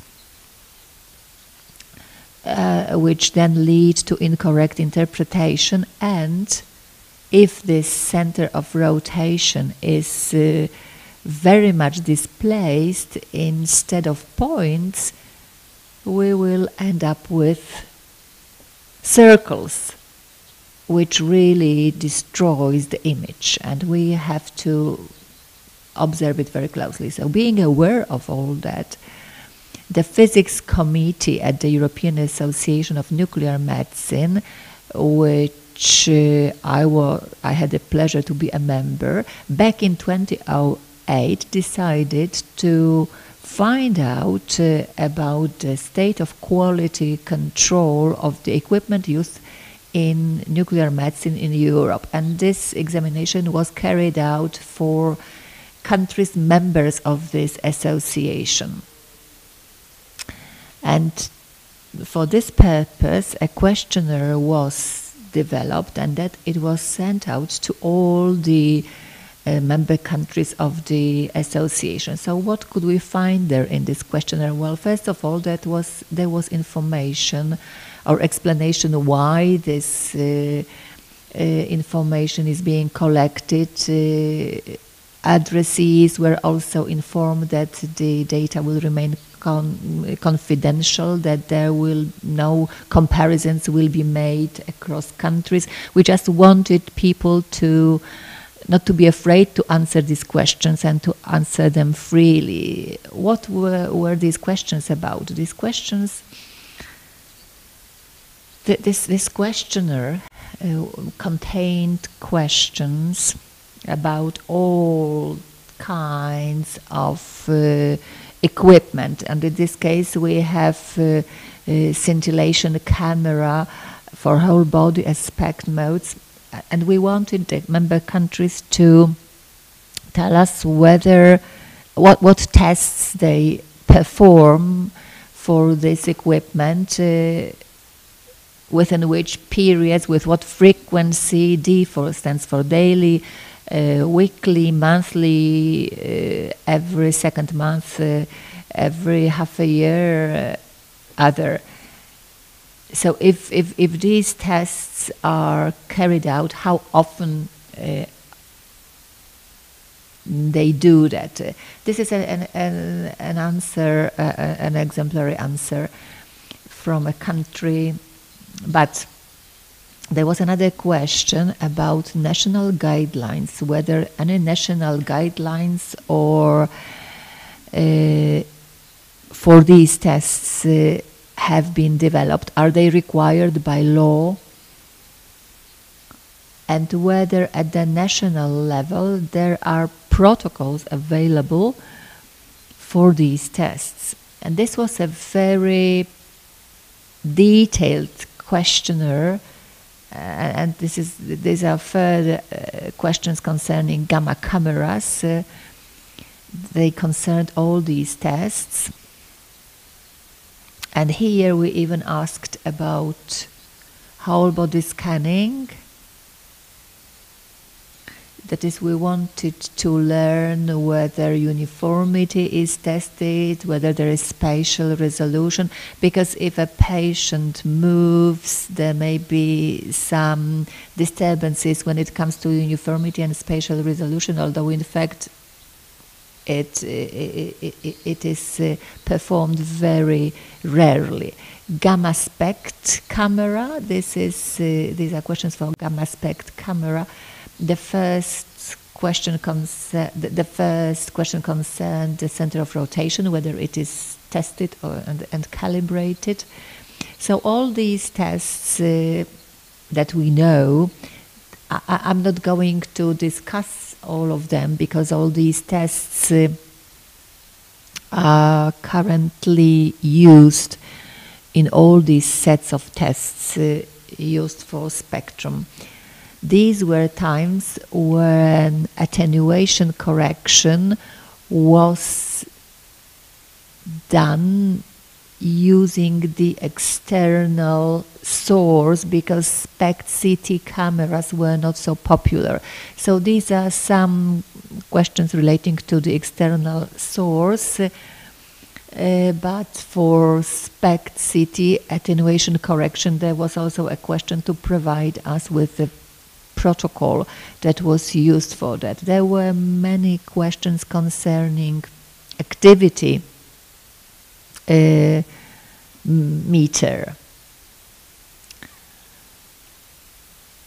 Again, I'm not going to discuss in detail, but we were also asking questions concerning uh, sets for thyroid uptake probe and a special system for when blood samples are are uh, taken. There are special sets for automatic gamma counting system and non-imaging intraoperative probes. They were all covered by by the questions in the questionnaire. And and what was found out we received uh, responses from as many as 29 countries, that is almost all members of the association, of the European Association at that time. Only 20 out of them had national guidelines for quality control of the equipment in nuclear medicine, and only and in 17 and only in 17 countries this kind of control was required by law. What was the problem? Having uh, looked through all these answers, uh, we decided that the major problem was the time discrepancy in the tests performed because there were very large time spans uh, between uh, between tests performed mm, were performed that was for example especially for those calibrators in uh, one country this test was carried out uh, every day and in another country every six months uh, and in, in, in another case uh, once a year or every day. So these are countries and these are frequencies with which these tests were, were carried out when it comes to planar cameras, such situations were also observed. Here we have a year, every year, or once a year, spatial resolution, once a year, and here every week. week. So that, that there were big differences. So, because of that, um, having considered that, we decided that we need to develop guidelines that would regulate uh, what types of tests should be carried out and with what frequency. And uh, that was published uh, as routine quality control recommendations for nuclear medicine instrumentation in European Journal of Nuclear Medicine, Molecular Imaging, Imaging in twen- back in 2010 on behalf of the Physics Committee of the European Association of Nuclear Medicine and a working group which uh, uh, was also active at that time at this European Association. I double checked it recently, so this publication was cited 78 times and it was read according to ResearchGate almost 2,000 times. It's it's a bit uh, outdated. It, it probably should be updated, uh, especially when we are having new equipment, new devices, uh, semiconductor cameras, for example. Uh, entering the market but it's always uh, it's it's it's it continues to be cited because whenever there is a, a citation i'm informed about it so what could what, what were uh, what was there in these guidelines? That's the introduction. They uh, stressed that these uh, recommendations should take account of national regulations, national guidelines, uh, national legislation. They also they included or they covered the types of tests that were expected to be performed and suggested frequencies, but they did, didn't and still don't specify the protocols that to be followed when carrying out these tests. We stressed that uh, obviously these tests uh, should be carried out by appropriately qualified and trained staff in accordance with local operating procedures that should be written down for and used as part of routine work. In addition, uh, threshold values should be set, uh, which, if exceeded, uh, should trigger a specific type of action. And also, they informed about who the decision maker is And once again, test we can read that test procedures are not included in this document because that's not the purpose of it.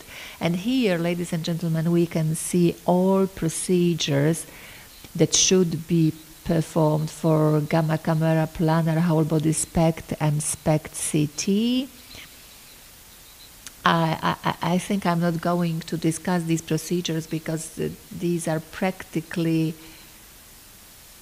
um, procedures which are very basic and can be found also in our national guidelines on quality control for the equipment. So there were instructions uh, or guidelines for planar, cameras, whole body, and CT, and that's these are more whole body procedures, spatial resolution, yearly on on a yearly basis. Uh, very rarely, I, but I don't think there are many uh, institu- institutes that would test it and score center of rotation for SPECT, uh, center of rotation calibration, if it is properly aligned. If not, then it should be calibrated, attenuation correction, and the overall system performance, usually using uh, Jaszczak Phantom. And in this column, uh, you we can see relevant co uh, comments uh, concerning aspects that need to be taken into account when performing the test and also when writing the procedures for tests. The same was done for PET. That was also described uh, what procedures should be performed. PET and SPECT CT for diagnostic purposes. Uh, that is uh, CT, not, not low dose CT, but full diagnostic CT. Radionuclide calibrator, um, all procedures that need to be carried out thyroid uptake probe and uh, non-imaging uh, intraoperative uh, probe plus obviously in vitro manual or automatic ga gamma counting systems that, that are used for samples taken from the patient body and radiation monitoring instruments such as radiometers that are used to detect contamination. Here, uh, in, in, in this document, there were many references, and, and the, its literature was very rich, so I haven't quoted all of them. There, there are many more, but of course, we referred to NEMA standards, to IEC standards, International Electro Electrotechnical Commission to International Atomic Energy Agency uh, publications. So based on that, we can develop detailed protocols that are used to in tests, uh, in quality control tests for instruments. But at some point, it turned out that the acceptance uh, tests uh, need to be described. They were described a little bit later, but not very much later. But these acceptance issues are, are also referred to. Um, they are referred to in the same journal. They are also quoted. Uh, there, are, there is a smaller number of uh, citations, but acceptance testing is performed much more rarely, but but they are quoted and uh, until to date, and they are still being read. So here again, they are listed test by after test uh, what acceptance testing should be carried out. I'm not going to bore you to death uh, with discussing all of them, but the, these are all for gamma cameras. Well, okay, so that's, uh, that, that happened 10 years ago. In the meantime, in the European Association of Nuclear Medicine, there is a technolo- technologists committee which is very active, and back in 2017, they put together a brochure. You, you can see its cover, its, its, its front page. It's uh, described in a slightly different way because uh, here we can find explanations. This is the table of contents, uh, but this, this but, but the document basically, this publication explains what these tests are for. Daily QC tests, and, and, and, and further it's explained what they are used for and what kind of quality control tests should be carried out. So it's, it's a more didactic publication. Uh, we have daily tests. Sorry, I, I cannot see it clearly either but here we have weekly quality control tests, uh, quarterly, annual tests, quality control tests.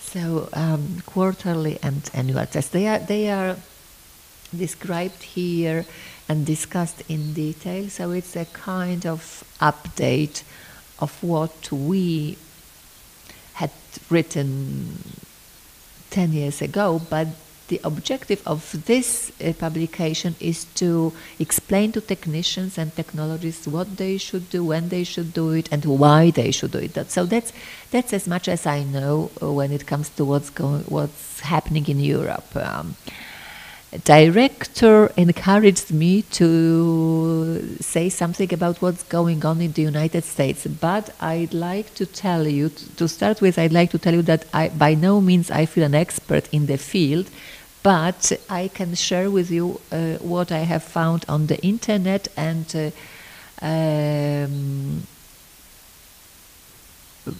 what I have learned from a colleague of mine working in the United States. I will tell you what I have man- what, what kind of knowledge I have managed to collect. In 2019, uh, in the United States, uh, American Association of uh, Physic- Physicists in Medicine uh, publishes quite frequently reports uh, this is uh, the report number 177, so these reports are quite frequent. And this associ association decided to put together guidelines for acceptance testing and for routine recommendations for routine tests for gamma camera aspect, aspect CT systems in this particular report. So, what, what can we find in the introduction? So, we can read here that they we can learn from it that they are aware of the fact that historically, even in the United States, uh, rather a small proportion of gamma camera systems undergo acceptance testing. So, why is that so? And the reason is that um, you will see it on the next slide. And the reason is that um, the authors of this publication they sent, uh, they surveyed uh, experts, uh, medical physicists in the United States, uh, and they sent out a um, questionnaire to them, asking these uh, expert medical physicists uh, and the sample included uh, 343 physicists and scientists. Uh, that was uh, the whole exercise was carried out under the auspices of this American Association of Physicists in Medicine and the Society of Nuclear Medicine, and they received responses from 46 physicists, and these people asked if when asked if acceptance tests should be a in a, carried out in a simplified version, 100% of the respondents said yes.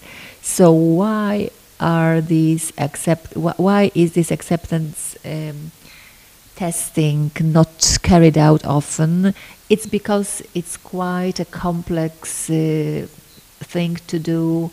It requires a complex set of phantoms to carry out these tests. So everyone was in favor of simplifying this acceptance testing. Um, so a document was created in which these tests uh, are described, broken down into routine tests for gamma cameras, uh, gamma planar cameras and SPECT systems, and here we can find tests that's uh, whose names fa- sound familiar to us. We we we carry out them. Uh, and these routine tests uh, are carried out with specific frequencies, uh, some daily, other weekly, monthly, quarterly, and etc. etc. Annual tests uh, are listed here and they require more effort and uh, they control factors which uh, are not so defective or elements that are not so effective and that, that's the continuation of the list of annual sectors uh, annual tests i'm sorry and these are this is a these are acceptance tests quite a long list but what's the difference between this publication and uh, and and uh, guidelines that we have in Europe? You will you will see it more quick, more clearly in the part addressing PETs. These tests are described in great details. These are not guidelines uh, about what should be tested, but they are described in detail uh, not only what should be tested, but also how it should be tested. And this is sometimes a challenge because uh, um, it's not easy to describe it in such great detail. Uh, because we have different manufacturers who have different requirements concerning testing, but that's how they did it. So at the at the national level, not not at the level of individual states, but at the general level, of, at, at the national level, these tests are described in great details, and the same was done for PET-CT. That's uh, called acceptance testing and quality assurance. Although in fact. Uh, uh, when you read it, you can see that the, that's not only acceptance testing but also routine tests. And here we can see this table shows tests. They are listed in the first column, and they then they are broken down into those which are carried out daily, weekly, quarterly, semi-annually, and annually. And uh, what's the philosophy behind it? They believe that acceptance testing should be uh, all these tests should be carried out as accept under the heading of acceptance uh, testing and values obtained should become reference points for further routine tests uh, conducted uh, with adequate frequency.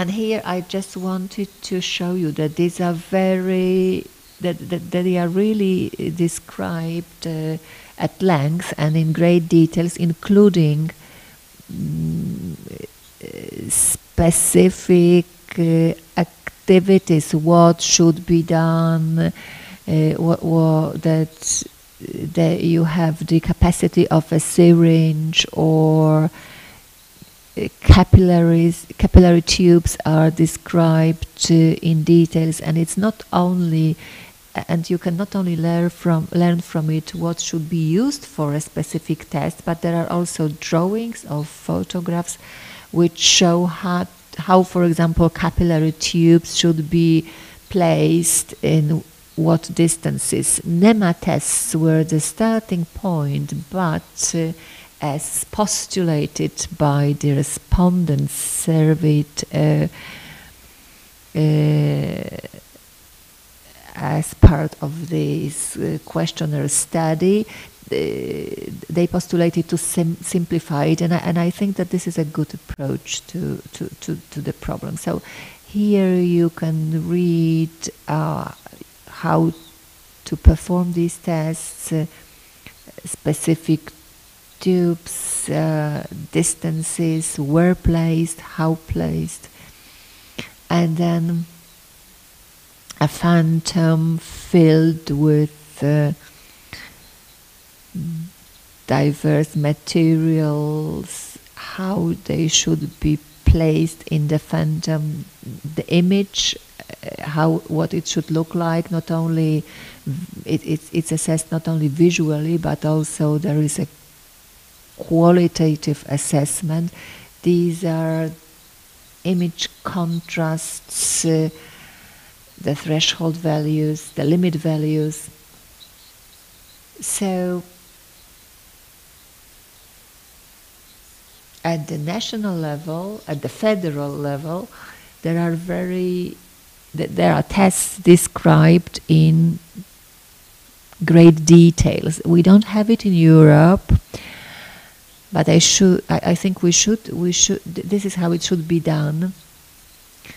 Uh, but you Europe differs from the United States. Uh, individual countries have different possibilities. Uh, so, final decisions should be left to individual countries when it comes to concrete procedures, control, quality control procedures.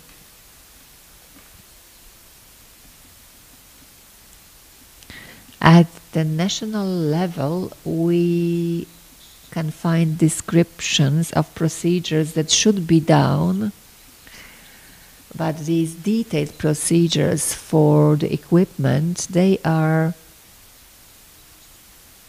created by individual institutions or departments uh, or centers that use it. That's the difference between the United States and, and Europe. That's as much as as I was uh, mm, as I have been able to find out. That's that's all, ladies and gentlemen. Thank you very much. Thank you, Professor. I'd like to encourage you to ask questions uh, and to raise your hands. And Piotr, yes, thank you.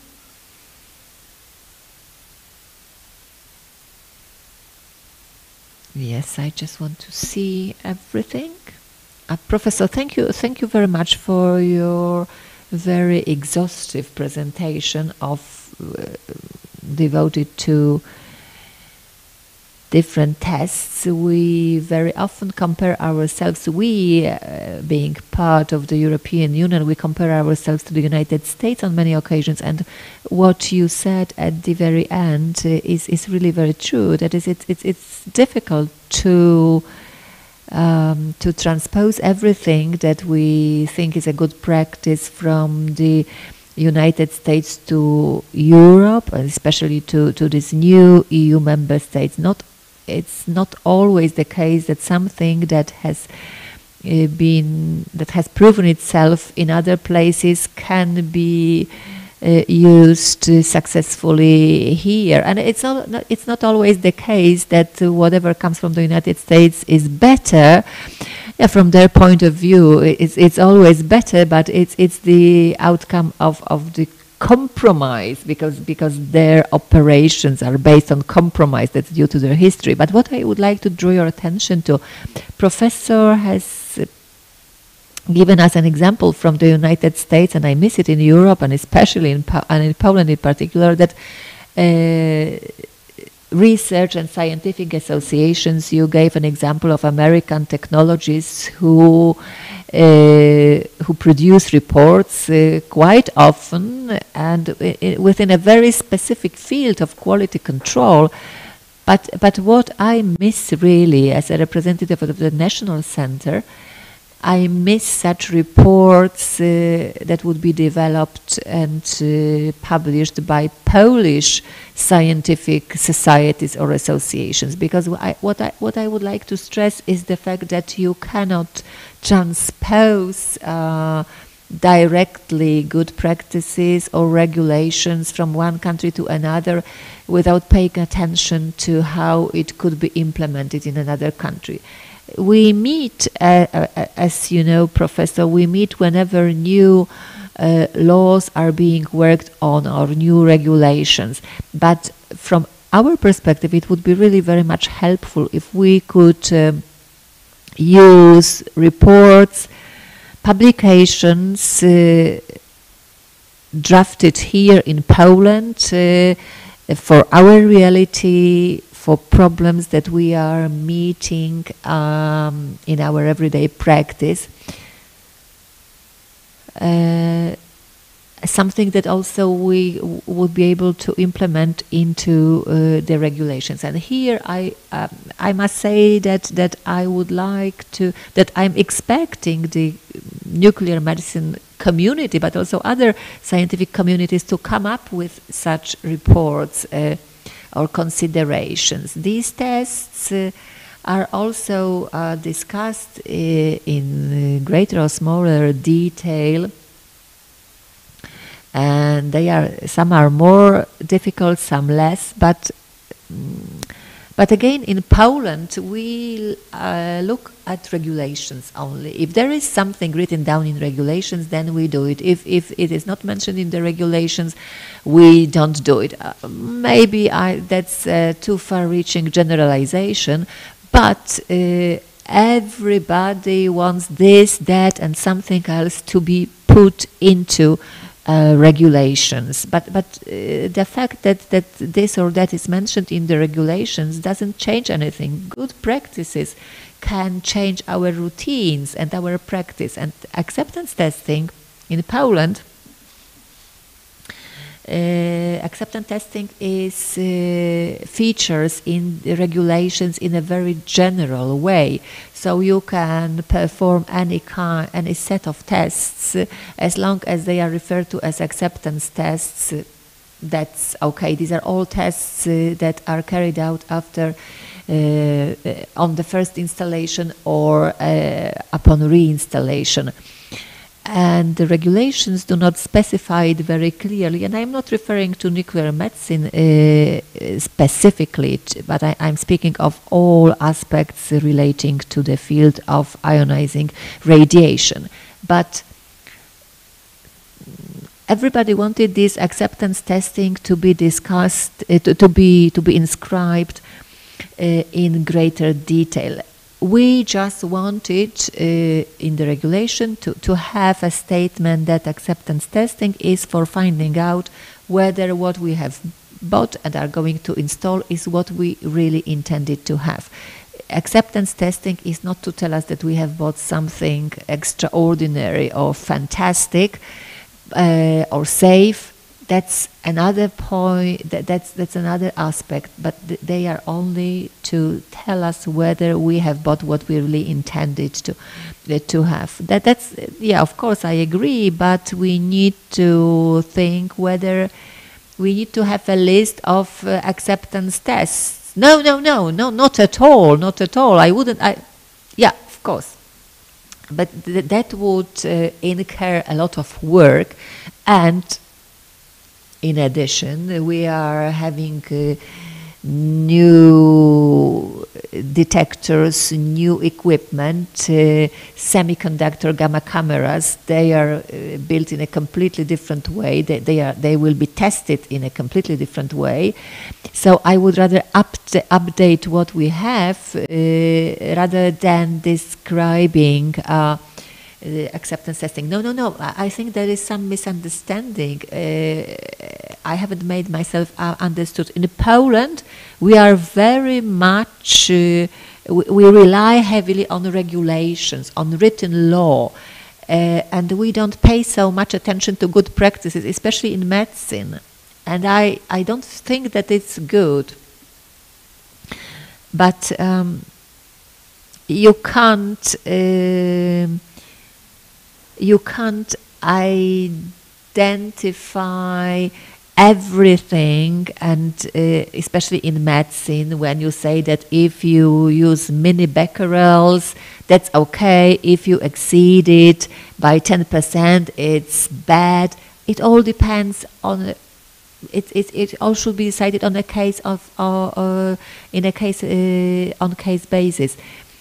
Uh, but acceptance testing so far is as it is and i hope that that the entire community working with uh, ionizing radiation in medicine that these tests should be carried out the way uh, in the way decided by physicists working for a particular department or a particular institution. Yes, a physicist must be present. It cannot be the case that a service comes, that they bring in new equipment, they carry out of the tests, and then they say, well, it's all fine, thank you very much. You must have a physicist from the side of the buyer. Oh, I'm sorry, we have lost the connection. Yes, can you hear me? Can you hear me, Professor? Can you, uh, can you hear me? Yes, yes, we can hear you, Professor.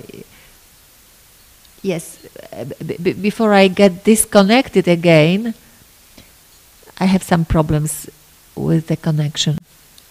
Yes, uh, when acceptance testing is being carried out, a physicist must be present there. Okay, okay, Professor, there is a question, there is a question. I'm not sure how to how this is a question from Claudia Kucinska. Yes, we can hear. Uh, we, we can see you. Uh, I, would like to ask you whether after the recommendations from 2010, uh, the improvement has been monitored in individual countries and why there were such big differences between respondents. No, uh, we didn't. We didn't monitor the effect of recommendations from 2010. Uh, to the best of my knowledge, uh, no study in this direction has been has been uh, carried out. But since these recommendations were issued, uh, we should hope, or maybe more, more than hope, that countries are following them. And, and, and the same can be said about the frequency of such tests. Uh, so I hope that these differences now, they have been reduced. Well, it's, it's, it's difficult to, um, to double check it really. Yes, probably a kind of committee or any other body at, any, at, at the European Association should look into it but I don't think that hasn't that has been initiated. But in recommendations, in national recommendations, I hope that that, that these recommendations are included. I can only hope that it's close, that, that, that we are all closer to these uh, guidelines, that it has brought us closer to them than before, but no study was conducted um, to this end. Yes, uh, Professor, that, but, but again, I think that this is the problem of uh, the activity carried out by national associations or national societies. We shouldn't look at Europe, at the United States, at what they are doing. There are different projects, programs, uh, that are comparing countries between themselves. You just told us, Professor, that it was a study conducted internally, but uh,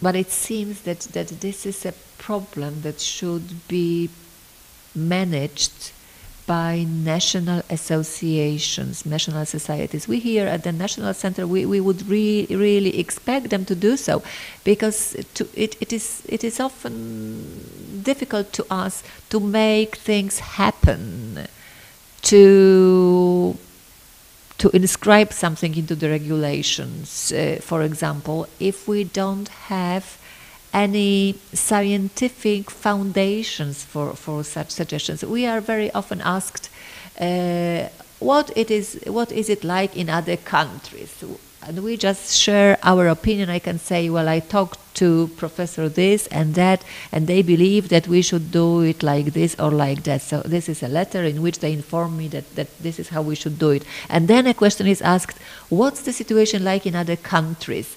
And if we could uh, have uh, some kind of material, background material prepared by scientific associations uh, or reports by, by, by, our scientific associations dealing with medical exposure, that would be really a fundamental uh, assistance to us. Uh, yes, I can only agree with, with what you've said. Yes, that, that's, that's, that's what it should be like.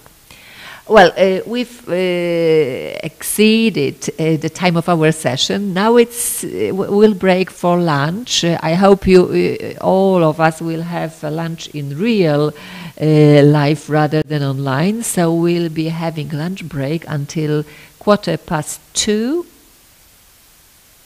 At, and at quarter past two, we'll start uh, with the next uh, presentation by Dr. Adam Grabowski from the National Center, from our center. Thank you very much.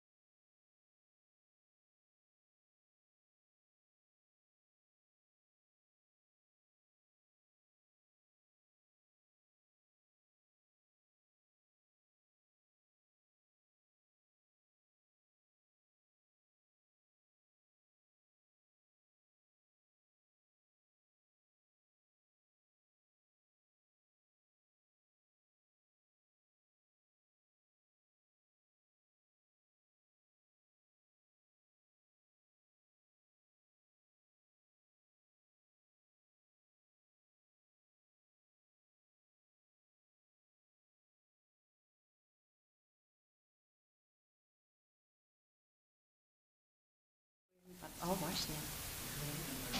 Dziękujemy. Dobra, to teraz ja, ale ja nic nie słyszę. Słyszysz coś? Czekaj. Słyszysz? Nie, nie, nie. Mm, to tak, to też widzę pana dyrektora.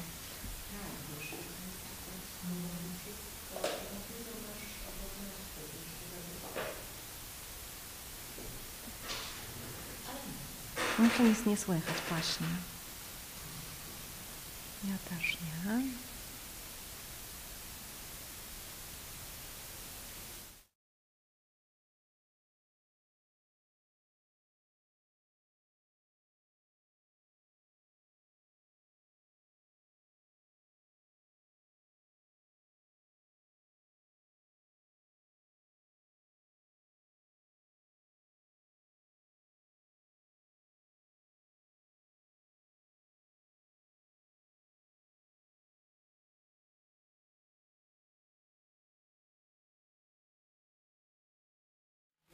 Chcę, bo pan dyrektor, nie, bo pan dyrektor ma, wyło- wyłączył się, nie idź do panu. Pan dyrektor po prostu ma wyłączony mikrofon. Uh, I'm afraid I cannot hear the speaker because his mic is switched off.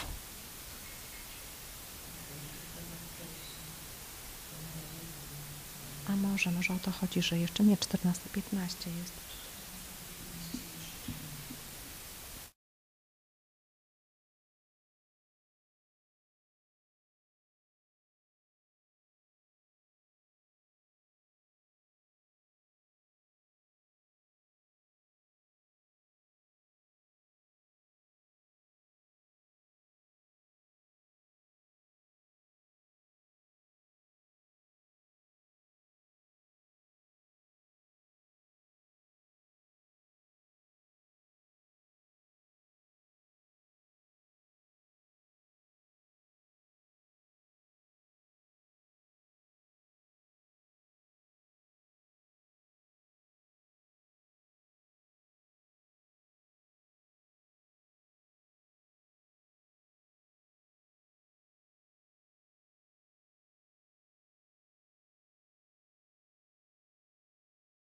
Uh, hello again, ladies and gentlemen.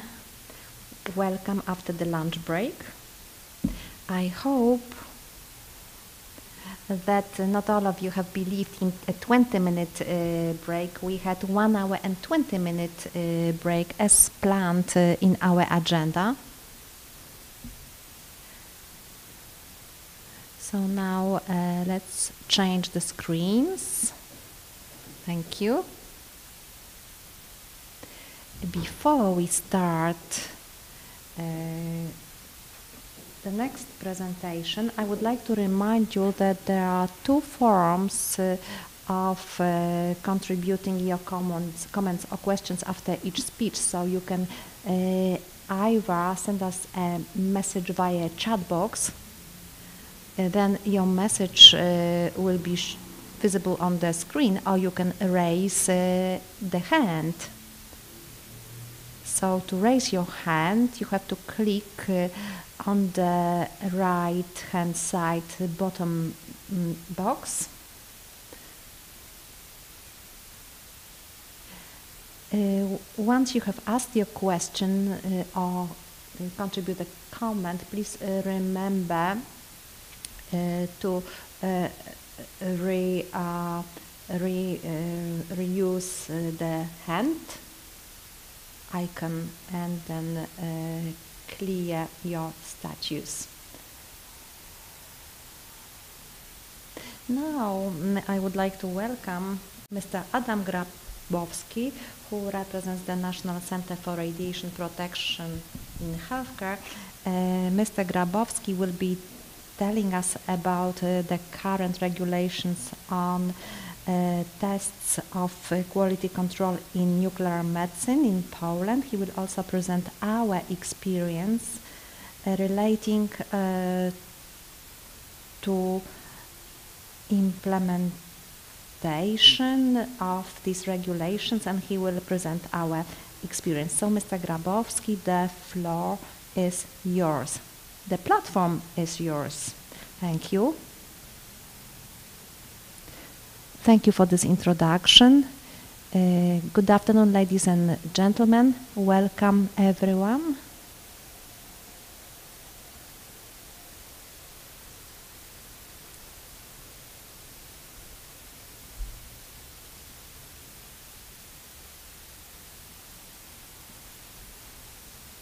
in, in, in laboratory in the National Center for Radiation Protection. Uh, I think it's enough in English, so let's speak Polish zgodnie z uh, przyjętą tutaj e, procedurą. E, Szanowni Państwo, tematem mojego dzisiejszego So Spotkania. i wykładu dla Państwa in my lecture. I'll be talking about the specialized QC tests in the field of nuclear medicine, current regulations, and laboratory experience in QA laboratory in NCRP in HC in Poland. So, the topic, uh, okay, the, the title of the presentation is repeated in Polish.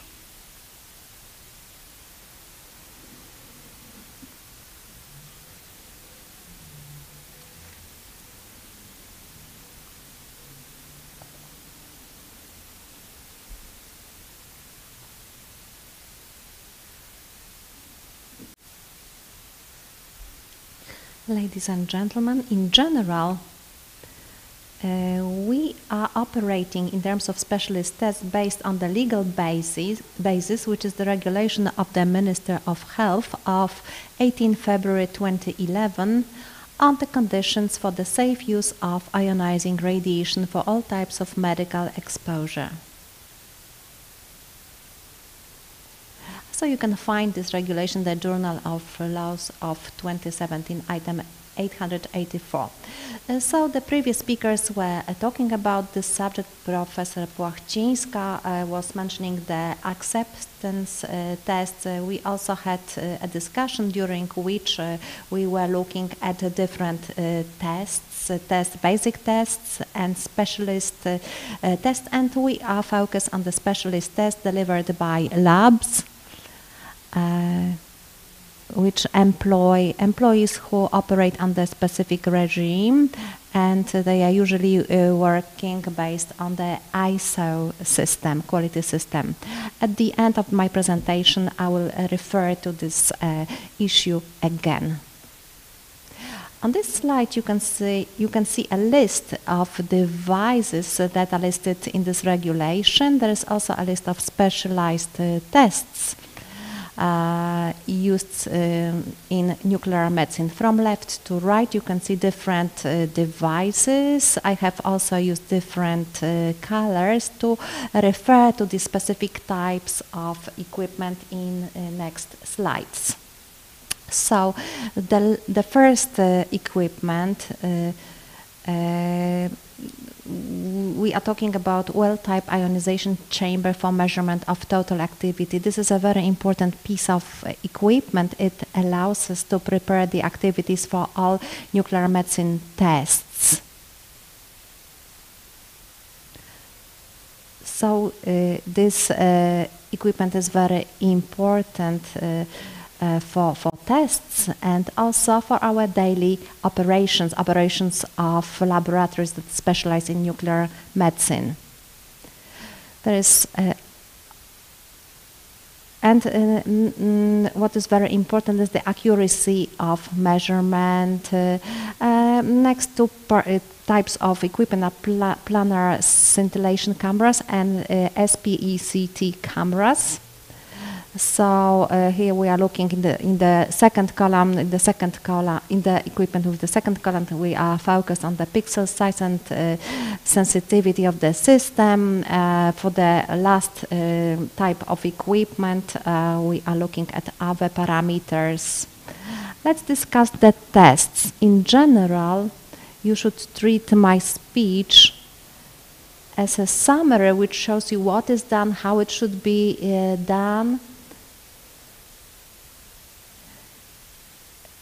There are also some procedures that uh, are used to make sure that everything uh, is done appropriately or there are some de deviations. So there is uh, the well-type dose uh, calibrator. So activity measurement accuracy test. Uh, so we want to check the accuracy and we are checking the measurement accuracy of the tested activity meter by comparison with a calibrated uh, meter. Uh, it is performed when the meter has not been calibrated for, the uh, for a period longer than a year. And also there are some activity measurements in the range. And the last item is the type of equipment used for this kind of test. In our uh, lab, uh, we've got a German device, PTW Curie Mentor 4 device, so the main, uh, the, mm, mm, the, the, the, main component is the cylindrical well chamber in a cover 3.8 millimeters. Uh, it is um, it is housed in a special uh, container uh, which contains argon in overpressure independent of atmospheric pressure. And there is also a lineator, lineator for placing samples in a uh, well. To test that source, we've got such a source, it is such a source at the center. It is uh, related with, the, uh, with some specific uh, isotopes and we are checking the meter before measurements, before and after calibration. We also focus on the current calibration. So we are using the device in this testing equipment to make sure that it, uh, the measurements uh, are taken before and after. And we are using CS1370, C99 uh, and you can see and we are only using the isotopes that are listed on this slide. Here in this picture you can see a meter, well-typed dose calibrator, 3 millimeters point four. It consists of a measure, measurement uh, panel. Uh, you can also uh, see uh, some some probes. Uh, you can see how to set uh, required parameters, and this is combined with the scintillator. And there is a LED cover So there are two tubes shown here. Uh, they are most frequently used in the labs. They are uh, so um, the uh, radionuclides are usually in syringes or in vials. So the syringes have to be placed uh, accurately to make sure that the geometry uh, related requirements are met. Uh, and there are also some forceps you are using for, uh, for the application.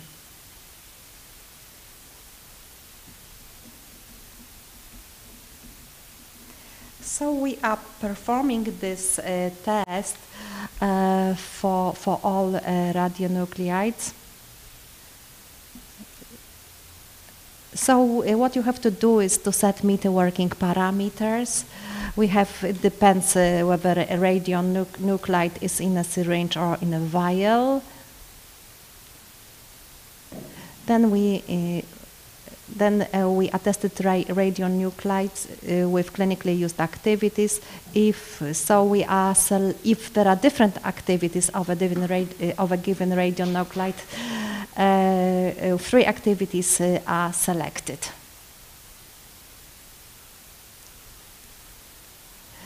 so we are measuring uh, the activity of the radionuclide. Then we perform for the test, uh, we also perform tests for the tested activity meter.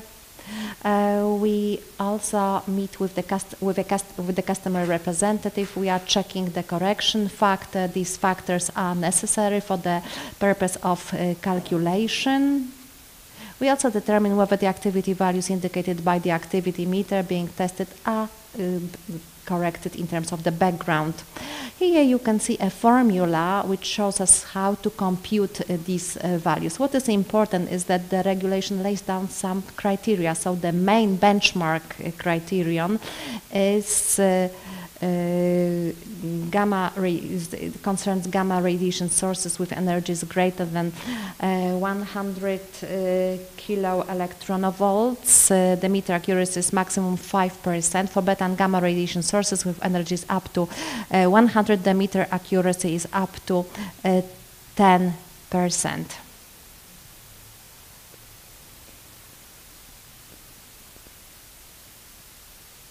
So there are different values of energies. That was only an example. Now let's proceed with the planar scintillation cameras. Uh, cameras, SPECT, SPECT CT cameras. The first two texts are performing the same way. The difference is as, as regards uh, as regards the text, the, the performance of the contact of the test is the same. So first of all, we are determining uh, matrix pixel uh, size. Then we are checking the difference in pixel size values measured along the x and y axis.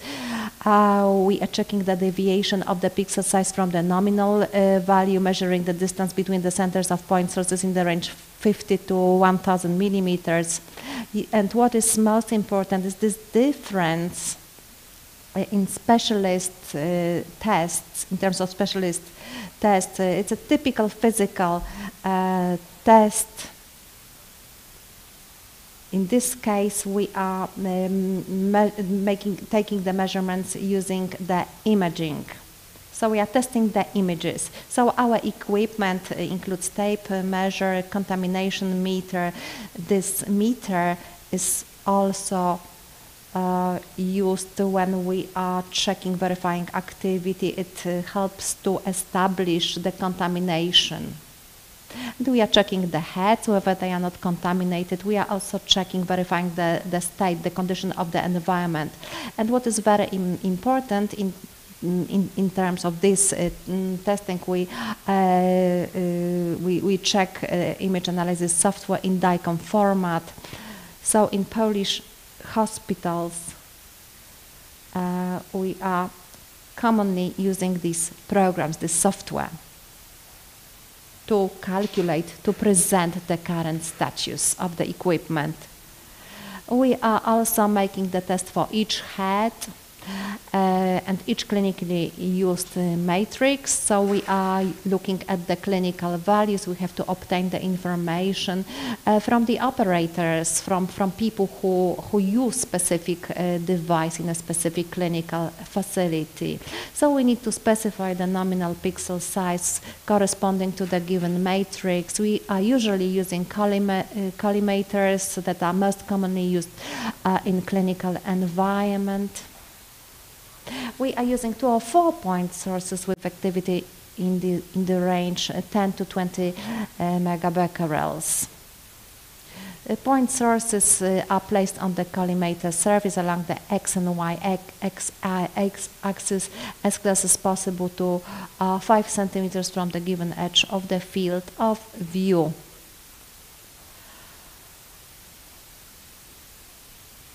If you are interested in the details, you can contact me. I'll be happy to provide you uh, with additional information. Then we measure distances between the centers of point sources lying in one line. So we also have to gather some information on the type uh, of equipment, how it should be um, uh, checked. We are, for example, uh, setting the energy window for the radionuclide used no zoom procedure is used um, and we also disable uniformity correction function. Number of counts uh, so you can see the number of counts for two sources for four sources.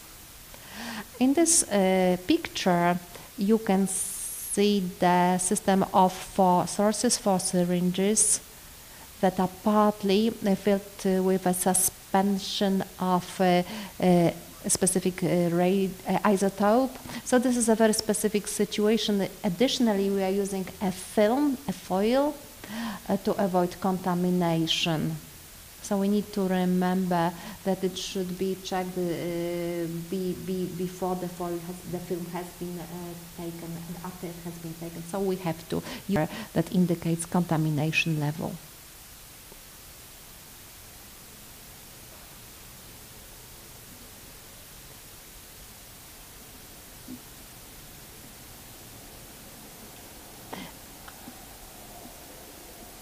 I'm afraid I cannot hear the speaker. Pan chyba nie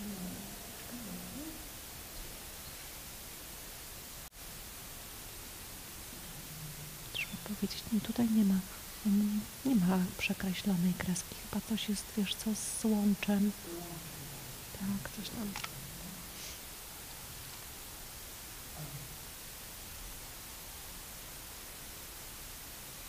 So we've got some technical problems uh, and uh, hopefully we will be able to resolve this problem quite soon.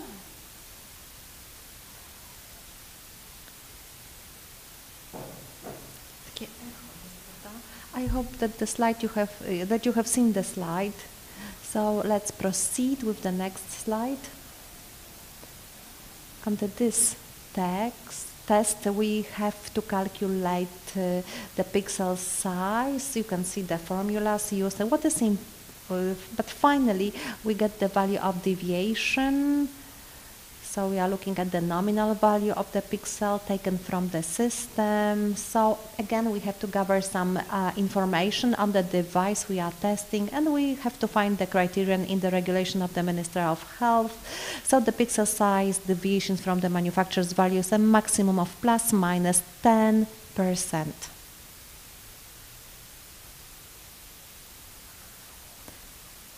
And we are also looking at the differences of values uh, uh, uh, concerning the pixel size. You can see a formula, and there's also reference to the regulation of the Minister of uh, Health. So the difference in pixel size values measured along the x and y axis is maximum plus nine, uh, plus minus five percent. So this is uh, this is another test which uh, verifies sensitivity of the system. So we have to determine system sensitivity. We have to find the response to a source with known activity. We are checking the system sensitivity deviations from the reference value activity measurement in the range 0.01 megabecquerels to 50 gigabecquerels. We are also measuring the total number of counts in the ROI in the range to 4 times 10 to power 6. Equipment a container uh, that is uh, filled with TC99M solution. It is a closed container to avoid contamination of the head. Activity meter, contamination uh, meter, a rack for attaching this container, and something that is very important, a special software to uh, analyze the image in DICOM format. So we are obtaining images and then we are analyzing this image, these images in DICOM format. We are doing it for our customers, clients. So uh, this test is performed for each head. We specify the reference value of the system sensitivity. Collimator mostly, most commonly used clinically for testing with TC99M. We are also measuring the background value in an injection. We are preparing a TC99M solution with approximately 40 megabecquerels activity in uh, we are measuring uh, the activity of this solution and record the hour of activity measurement, the time of activity measurement. Uh, so we want to um, determine the sensitivity. Uh, then we place the solution con the container with solution in relation to the collimator, collimator surface, as in the case of reference measurements. Contents of the syringe is injected into the container to completely cover the bottom of the container uh, at the level of approximately 3 millimeters and we measure the remaining uh, activity in the syringe, syringe we, uh, uh, we, we save the acquisition starting time, then we save the duration of the acquisition. Uh, then we remove this container with solution and perform the acquisition, acquisition for the same matrix and the same acquisition time as when measuring with the container. Acquisition parameters, again, we are talking to the operators of the devices. It's the same as for reference measurements. So again, we are looking at the energy window on photo peak for TC99M, matrix of the most clinically used size. We are uh, disabling uniformity correction function and uh, the number of counts uh, has been also uh, provided. So we uh, finally, at the end, uh, we obtain some result, results and uh, we compare uh, the values. uh, next text, test uh, checks the tomographic spatial resolution in the air. So for this purpose, uh, we use what we have to do, we have to look at the uh, planar resolution and tomographic resolution of the camera. We are checking the deviation of the tomographic resolution for directions A, X, and Y from the tomographic resolution for direction Z and the planar resolution for direction X. We are also measuring the distance on the image profile. The equipment we are using contamination meter, stand for fixing the point source, here we have only one uh, source and we, uh, we analyze the image. On this slide, um, uh, you can see the test for tomographic spatial resolution in the air for all clinically commonly used collimators. And this is what it looks like. You can see it in the pictures on the left-hand side. You can see the stand. At the end of the stand, uh, there is a handle with the uh, point uh, source. And on the right-hand side, you can see a point source in a syringe. Uh, we set acquisition parameters, energy windows on the photopeak for the radionuclide used. Uh, we also look at the matrix of the most clinically used size, camera rotation radius as small as possible, circular rotation. We also establish number of angles most commonly used clinically. Uh, we have to cooperate with the operators again. We also then need to elaborate the results, image reconstruction using back projection and RAM filter of the sharpest uh, image and we have to establish the difference. And then we compare against the benchmark, bench, benchmark laid down in, a, in, the, in the regulation of the Minister of Health, deviation of the tomographic resolution specified by the FWHM of the profile of the reconstructed image. Uh, system tomographic uniformity. For this test, uh, we are using the Jaszczak Phantom you probably all know, maybe not everybody knows, but in this, uh, in this context we are using the basic test. Uh, but we only perform this part of the test that is uh, that uh, addresses uniformity. So all the in parts in stern, in, inside of the phantom are uh, uh, removed. We are using the tape measure, contamination meter, construction lev level, and then we again um, use the software to analyze the image.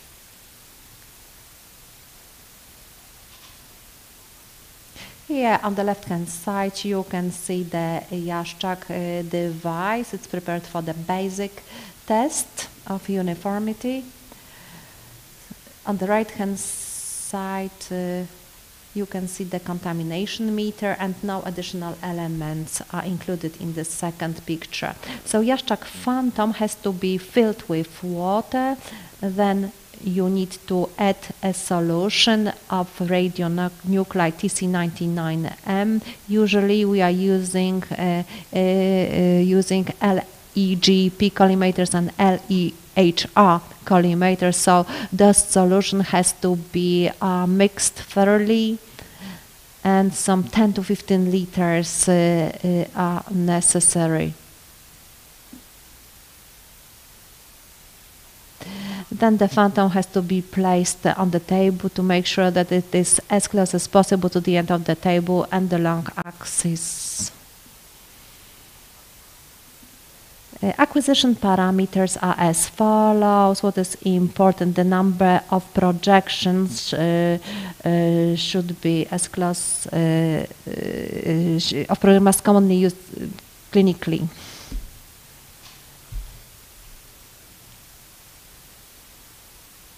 What is important is the contrast of circular artifacts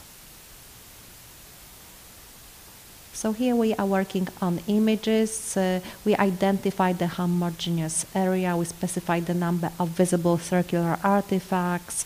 Artifacts for each layer of the uniform area. We specify the number of visible circular artifacts. Finally, we identify the contrast.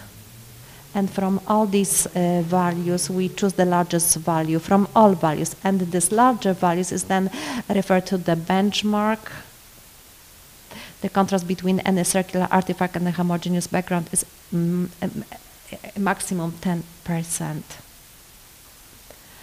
And then we are looking at the difference between the middle and uh, the edge pixel values. We have to calculate these uh, values. Uh, so we again we determine the difference uh, uh, between the middle value and the edge values of the number of counts per pixel. And then we, uh, again, looking at the benchmark laid down in the uh, regulation of the Minister of Health. Yet this maximum value is 10% again. So all these tests uh, I am presenting concern nuclear med medicine. This, this test is a radiological test performed in the following way. So if a SPECT camera uh, contains a CT module used for diagnostic uh, purposes, so for this uh, module we perform all specialized tests provided for CTs. So if this module is used only for the purpose of localization of changes visible in the SPECT tests and correction of radiation absorption, special, we only perform two tests. High voltage test and volume tomographic dose index, CTDI volume. I have uh, I have tried to present all uh, these tests uh, uh, in terms of nuclear medicines performed in Poland. What is important, uh, we perform measurements in a team of two persons we always have uh, a representative of our client who operates the device on the test and sets the expected parameters for individual tests. So we uh, the samples with activity are prepared by the client's personnel as indicated by the measurement team and under the preparation for the perform performance of the specialist test we agree the method of acceptance of the criterion the criterion that is laid down in the regulation of the Minister of Health. Uh, of course, we have to uh, address all uh, the uncertainty values and we have to follow a specific principle how to approach the result. And we are using uh, the, uh, the principle of simple acceptance. We also need to measure environmental conditions for each test. I would also like to mention the work of our laboratory. Uh, it is located in the Quality Control uh, Department at the National Center for Radiation Protection in Healthcare. We have been accredited by the Polish Center for Accreditation. Uh, we meet requirements of the ISO standard IEC 17025 um, standard, so we have been accredited we perform all specialist uh, tests for the purpose of nuclear medicine uh, that are specified in the regulation of the Minister of Health. In Poland, there are only two uh, labs that are accredited uh, in terms of nuclear medicine specialized tests. All the uh, uh, laboratories are listed in our website. Uh, we've got a very specific situation. So uh, during our daily work, uh, we are using the principle of radiological uh, protection because this is very important uh, in terms of the work uh, by nuclear medicine departments. We also additionally have to follow all uh, recommendations concerning antivirus protection. You can see um, a publication that has been uh, elaborated by the International Atomic Energy Agency in uh, Vienna. We following, we, we do follow these recommendations. Thank you very much for your attention. And this is uh, the door of our lab. Thank you very much for a quite an exhaustive uh, lecture concerning our regulations and technology of performing specialist uh, tests in the field of nuclear medicine. Are there any questions?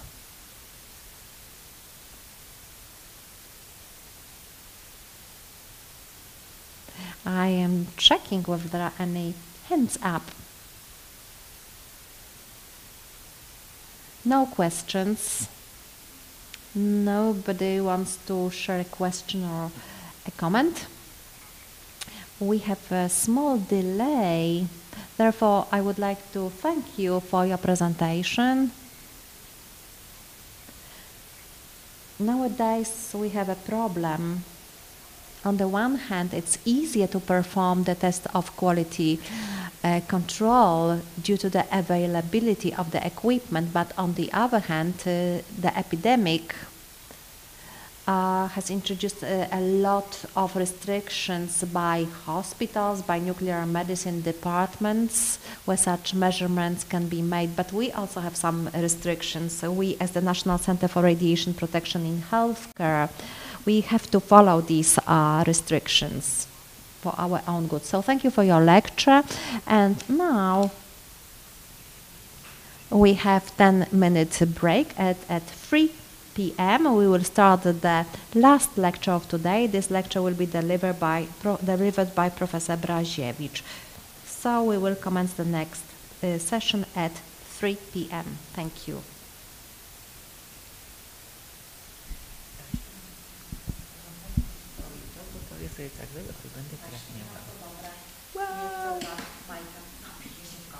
na Pishika.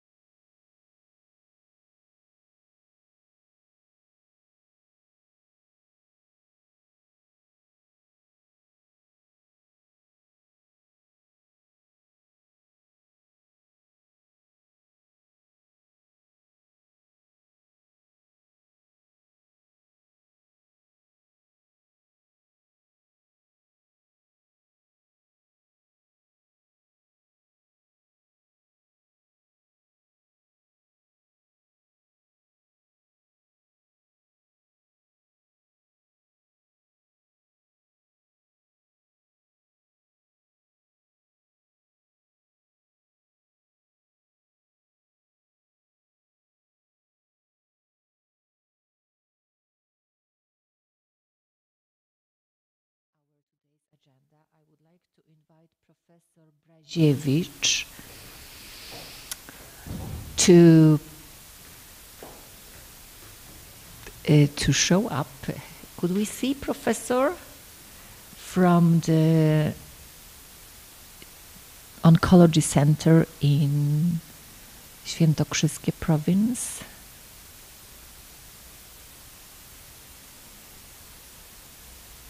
Yes, good afternoon, Professor. Could, could you switch your mic? Yes, yes, your mic is on. Could you please um, turn it up slightly? Oh, I'm afraid it's it's off. It's off again. hmm Yeah, I, I, I will try to speak up. Yeah. Uh, good afternoon, Professor.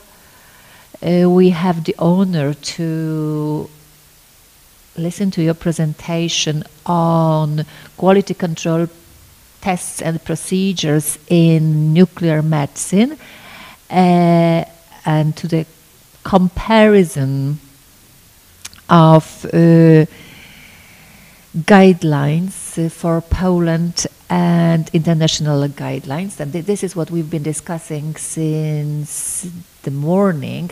The floor is yours, Professor. Thank you. I will try to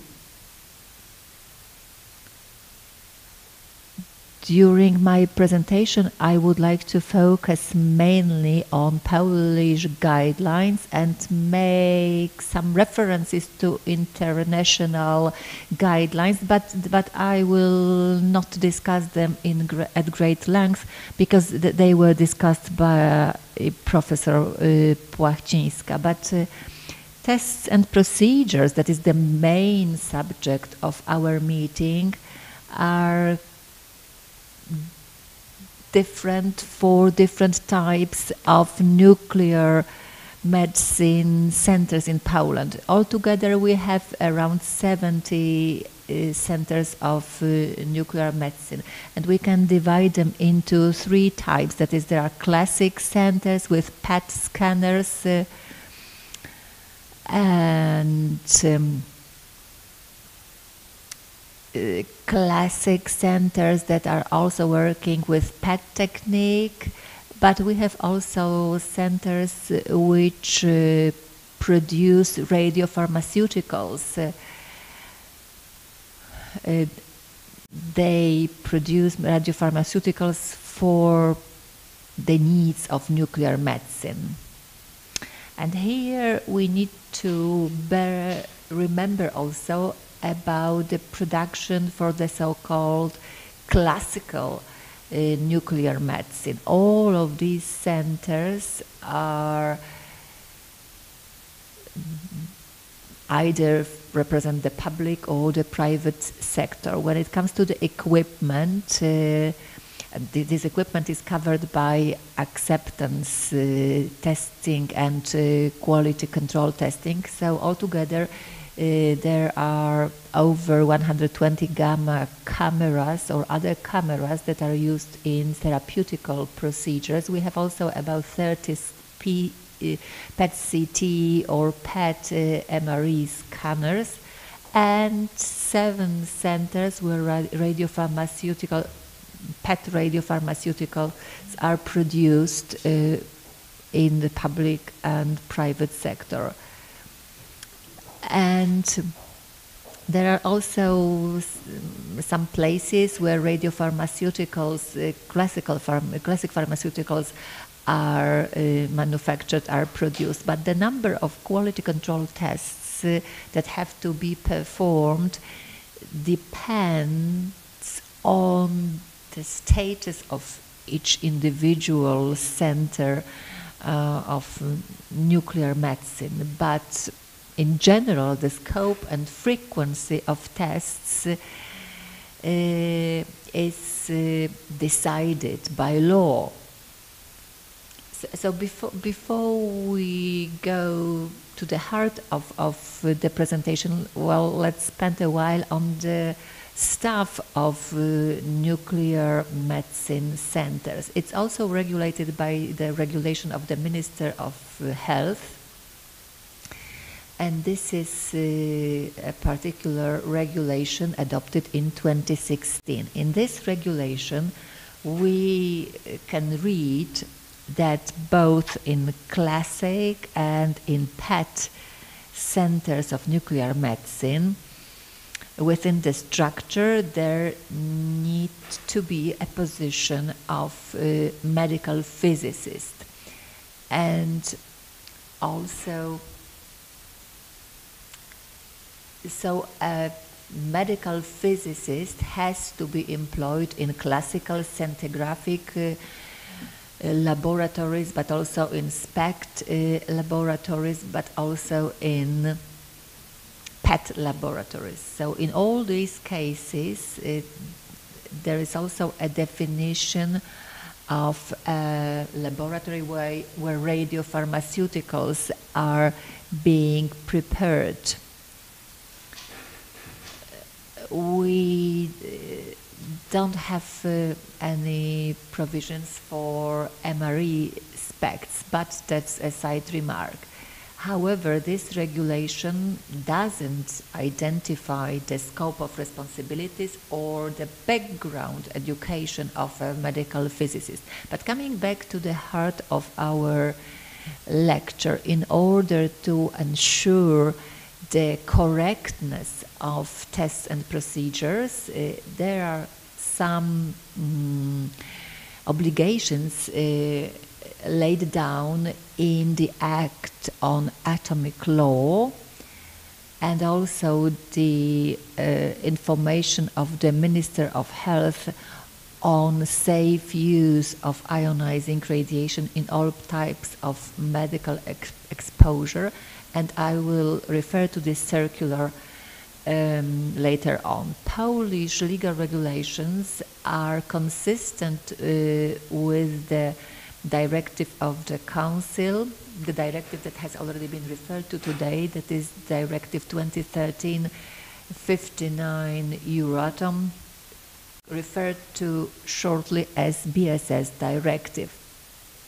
And uh, what can we read in this directive? It's Article 68 imposes uh, an obligation on the center to perform quality control tests for its equipment. In medical procedures, BSS directive uh, obliges to uh, to have an expert in medical physics in all medical practices. This directive also identifies quite precisely who an expert in physical uh, in medical physics is and his or her responsibilities and that of course includes uh, acceptance testing for radiological equipment. In the light of the currently binding Polish law, that is the Act on Atomic Law, the an expert in medical physics means is also identified. The Polish law uh, reflected the provisions of the directive in the Act on Atomic uh, Law, uh, recently updated uh, by the end of 2019, and there are also uh, executive acts uh, such as the uh, circular of the Ministry of Health. So the Atomic Law provides definitions of certain important terms while all issues relating to medical procedures uh, are included in general in the chapter in chapter 3 of this law. And in its article 33h of the atomic law act in uh, its paragraph 7 we have a definition of um, medical physicist, physicist in nuclear medicine. So this article defines uh, that certain tasks within a nuclear medicine center shall be performed by a person having specialist knowledge in physics, in medical physics. While in the next, in the following article, we can read that these tasks listed uh, in the previous article can be performed by either a specialist in medical physics or by a person who is further referred to as a medical physicist in nuclear medicine. We'll come back to it. This law mm, also mm, explains or lays down what kind of background knowledge and edu- formal education the person should have to be a medical physicist. However, uh, there are certain gaps in it. It, it, it defines uh, who a medical physicist in nuclear medicine is. It's a person who has got a master degree in specific uh, fields of knowledge, a person uh, who for two years within the recent three years has been dealing with this specific uh, type of jobs and who also has completed a spe- special course for a mes- medical phy- uh, physicist in nuclear medicine or has completed the so-called general uh, module and mm, nuclear medicine module uh, that uh, was offered in accordance with the curriculum for specialist training. So, this is how uh, these knowledge requirements are identified. But at the same time, this law uh, authorizes accredited units to issue certificates to people who have completed these specific courses of module of the curriculum. Uh, so, by virtue of law, these people are automatically referred to as medical physicists in nuclear medicine if they have completed these courses. And this solution uh, included in atomic law doesn't completely solve the problem that laid at the foundations of uh, the establishing of this specific uh, curriculum for uh, medical physicists.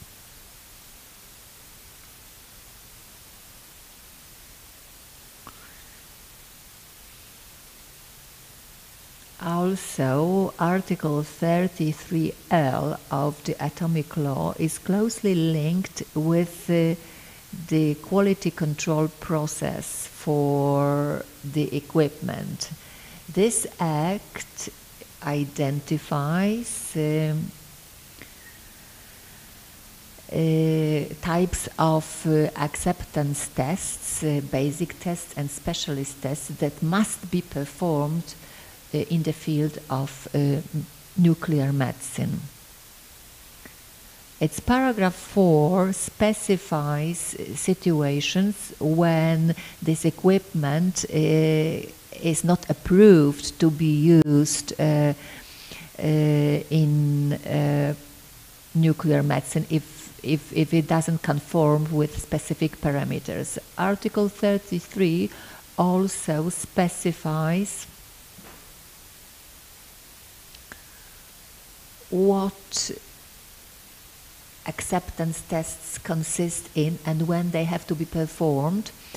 I think that this these provisions are quite clear. It quite clearly tells us what uh, acceptance tests are about, and and we don't need any uh, more specific or more precise regulations. Further, Article 33, with respect to nuclear medicine, uh, informs that basic tests can be performed by technicians in radio technolo- uh, technology, but specialist tests have to be uh, performed by specific accredited, accredited units or specialists in medical physics or specialists in medical engineering who uh, work in medical health institutions. And, and this is probably uh, where the act is not very precise because in agreements that uh, were made quite some time ago, we decided the specialist tests uh, were to be uh, performed with the participation of uh, medical physicists only because I believe that these are people who can understand and feel of aspects related to the use of equipment. And uh, if and these tests have to be performed uh, uh, under the control of medical physicists. Uh, but uh, medical physicists specializing in nuclear medicine have deeper knowledge in it. On the other hand, the possibility to perform specialist tests in nuclear medicine, even by a specialist in, physic- in medical physics, uh, are not always uh, enough. So, a medical institution must comply with conditions that are presented here on this slide. Of course, in medical nuclear medicine, the consistency of the measurement uh, is ensured where we have calibration testing of uh, the equipment when we compare our results uh, to the norms, uh, we make references uh, to reference values. We confer, we double check the traceability and repeatability of results. And when that is all documented, we comply with the uh, consistency requirement uh, for measurements, but it's not specified clearly what this uh, consistency, measurement consistency is about. If we assume that any of these procedures uh, is selected uh, and is met, then we meet this condition anyway. But, but, but, but I believe that at the stage of test of equipment testing, having this stage at all ensures conformity and cons-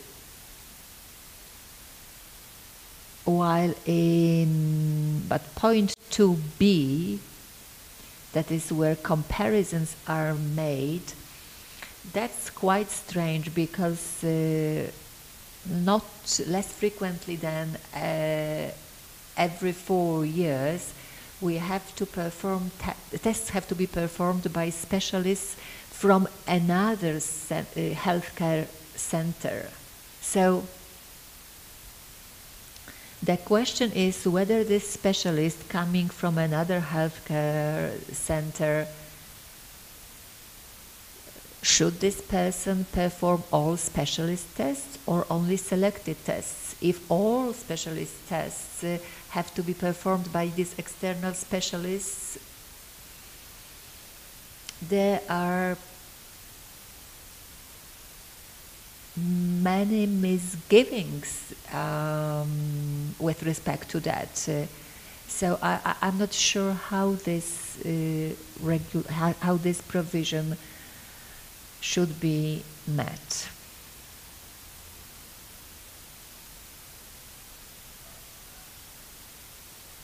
But coming back to no, we, we, we've we've passed this already. But going more in depth, uh, Atomic Law Act uh, uh, imposes the obligation to perform tests for measuring equipment uh, uh, and for calibrating them.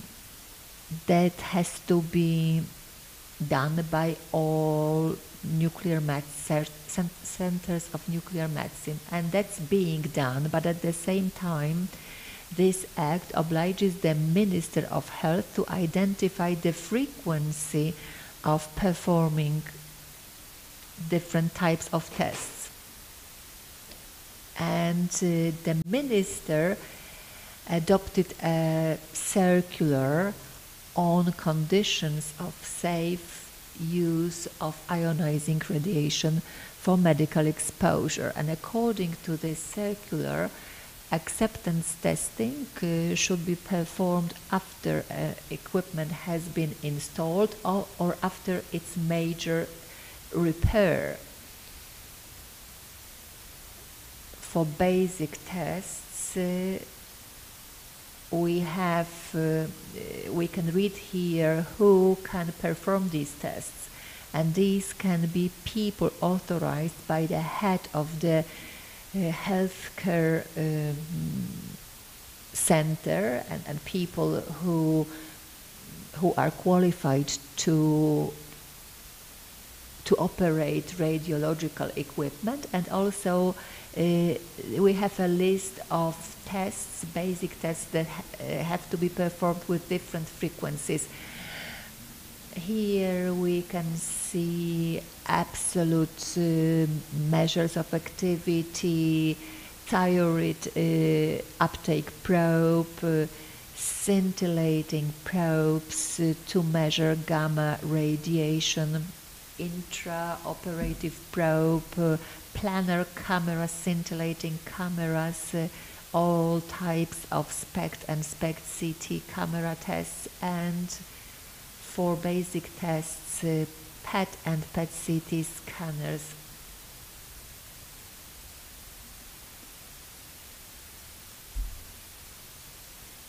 Uh, when it comes to specialist tests, as I have already mentioned, these specialist tests,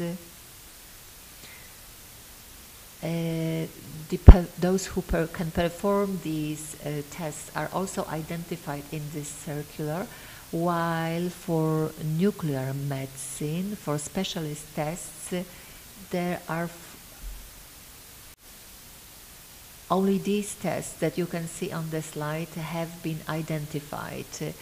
So PC uh, PET CT scanner is not included here. Of course, in the regulation, we can read what types of tests have to be performed for CT systems in hybrids. So if uh, uh, CT in hybrids is used only for the correction or localization, then we have set, a limited set of tests. But when CT is used as diagnostic CT, then we have an obligatory a, set of obligatory uh, set of tests, uh, diagnostic tests, as identified in the chapter for radiology. But the regulation of the Minister of Health or the circular of the Minister of Health uh, obliges to perform tests for equipment other than listed in Annex 6, uh, that is what I have just shown you. Uh, and these tests are listed and tests different than those listed in the annex have to be performed in accordance with Polish norms, European norms, validated uh, research methods or manufacturer's instructions. So for each equipment or each device, auxiliary device, tests included in um, manufacturer's manuals uh, are obligatory to us.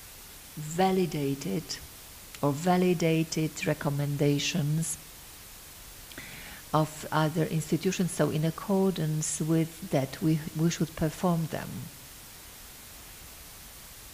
And, for example, in the regulation of the Minister of Health, in the part devoted to nuclear medicine, we cannot find anything about quality control for descriptive stations that we use throughout the diagnosing process. These guidelines were developed only for the radiology chapter. We think that also that, that these um, tests should also be fer- performed for these stations in nuclear medicine because um, we need to have very efficient and well performing equipment for, for, for the purpose of descriptive stations in nuclear medicine. They perform the same role as in imaging uh, diagnostics, so the same specialist tests or basic tests should apply to them and they should be performed uh, and imposed either by virtue of internal regulations or uh, by virtue of recommendations adopted by uh, the association. We know that there are Polish and European norms that apply to them. So, in accordance with them, we should perform these tests as well.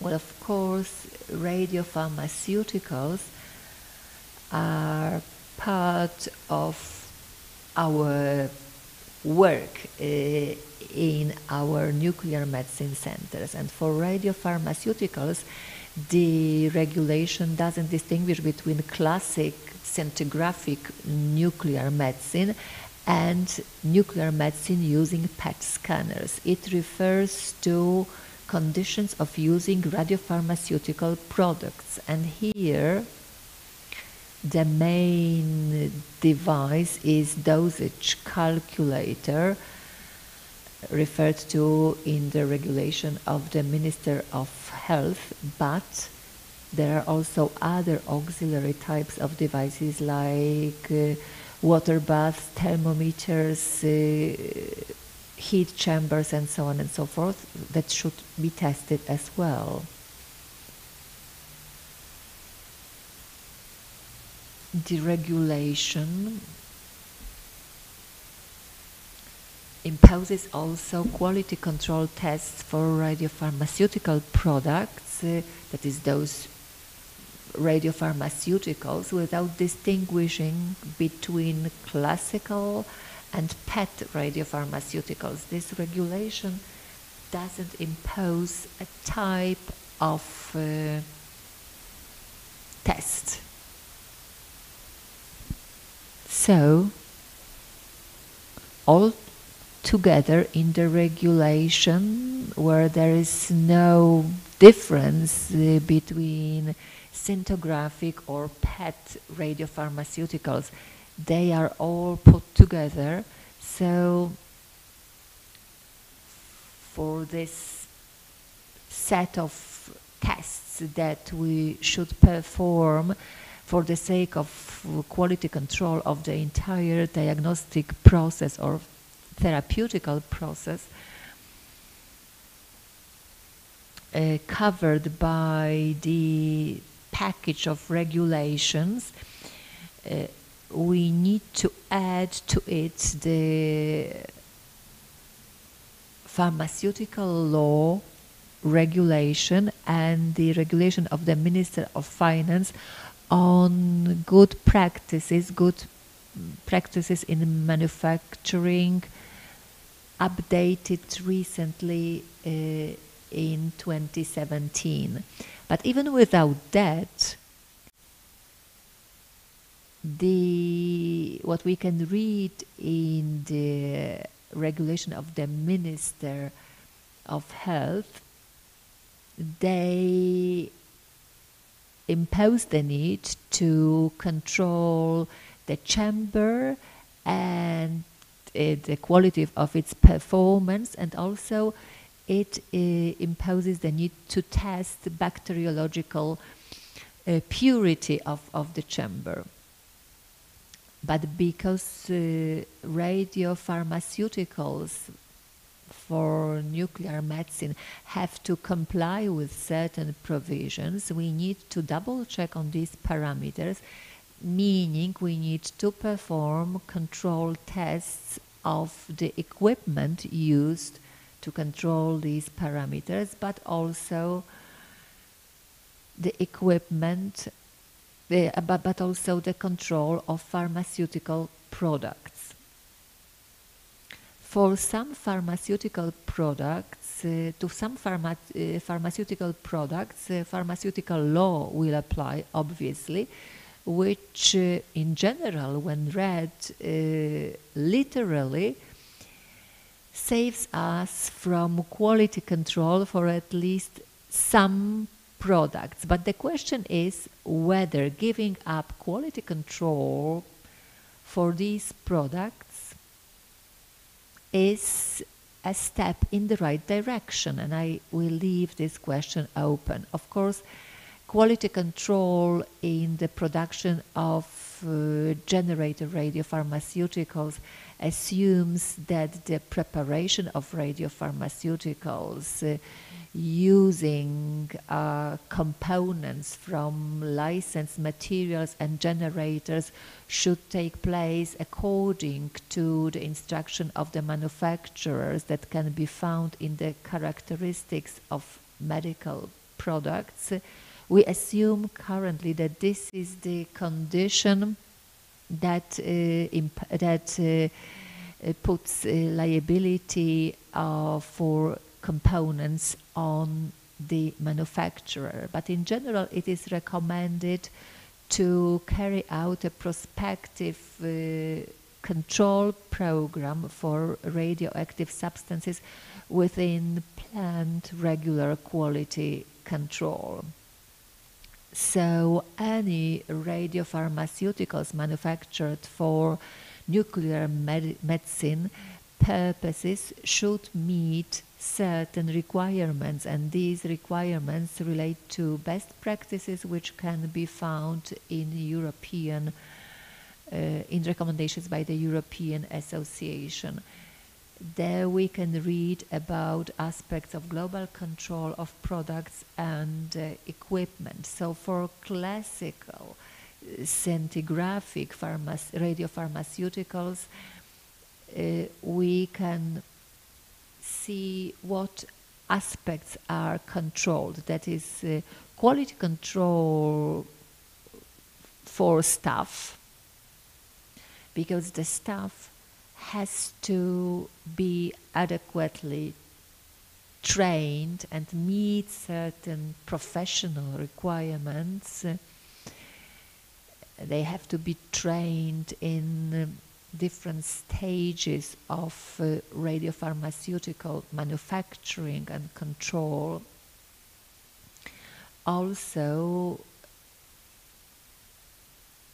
we have here the control of uh, equipment and facilities, also quality control for radiological uh, protection of for the manufacturing area, but also quality control of the product. That's all uh, laid down in the manufacturing good practice from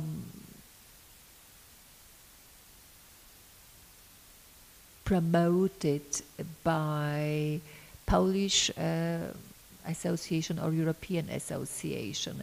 Similarly to generator manufacturing, we have quality control for PET uh, radio mm, pharmaceutical control. And again, we have areas that have to be covered by this quality control. But uh, in these areas, there are lots of aspects and procedures that have to be tested uh, duly and controlled and also archived.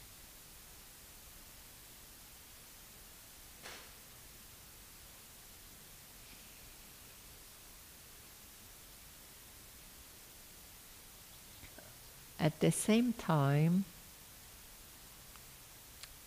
it's almost at the end of my presentation, I'd like to tell you that BSS directive obliges to include the dosage, uh, the, the dose uh, used in diagnostic and therapeutical procedures in the patient's files. So here we come to the quantification of uh, tests in nuclear medicine. That is, quality control should cover these parameters that have direct impact upon these estimates. So here, because uh, the equipment is increasingly more modern, so these measurements are taken automatically or semi-automatically. But this, uh, so this tests uh, of uh, dosage, doses that, that have been accumulated in a patient's body have to be monitored. And this is for sure uh, also something that we will be looking into in the future. I've been trying to show you the problem of quality control from the perspective of the performer or, the organizer of, uh, of, of some or somebody who organizes work in such centers. I've uh, told you about problems, logistic problems, personal problems uh, uh, that are encountered by these nuclear medicine centers. But uh, formally, uh, there is no difference between classic and PET medicine, PET approach in nuclear medicine. And, and the same is translated and reflected in the manufacturing of radiopharmaceuticals. And that is understandable because uh, close to zero danger resulting from reasonable use of radiopharmaceuticals uh, is the same, and, and that's, that explains why there is no different, uh, differentiation between these two types of um, nuclear medicine systems. Thank you very much. Um, uh, well, thank you very much. This is as much as I could say about the subject allocated to me. Well, I, I, I hope uh, that it wasn't uh, too much against what you wanted to share with us. But but but but I but I think that that no no no not at all. But I think that we have to be quite precise among ourselves about what we are talking about because what we heard during the previous presentation that is in general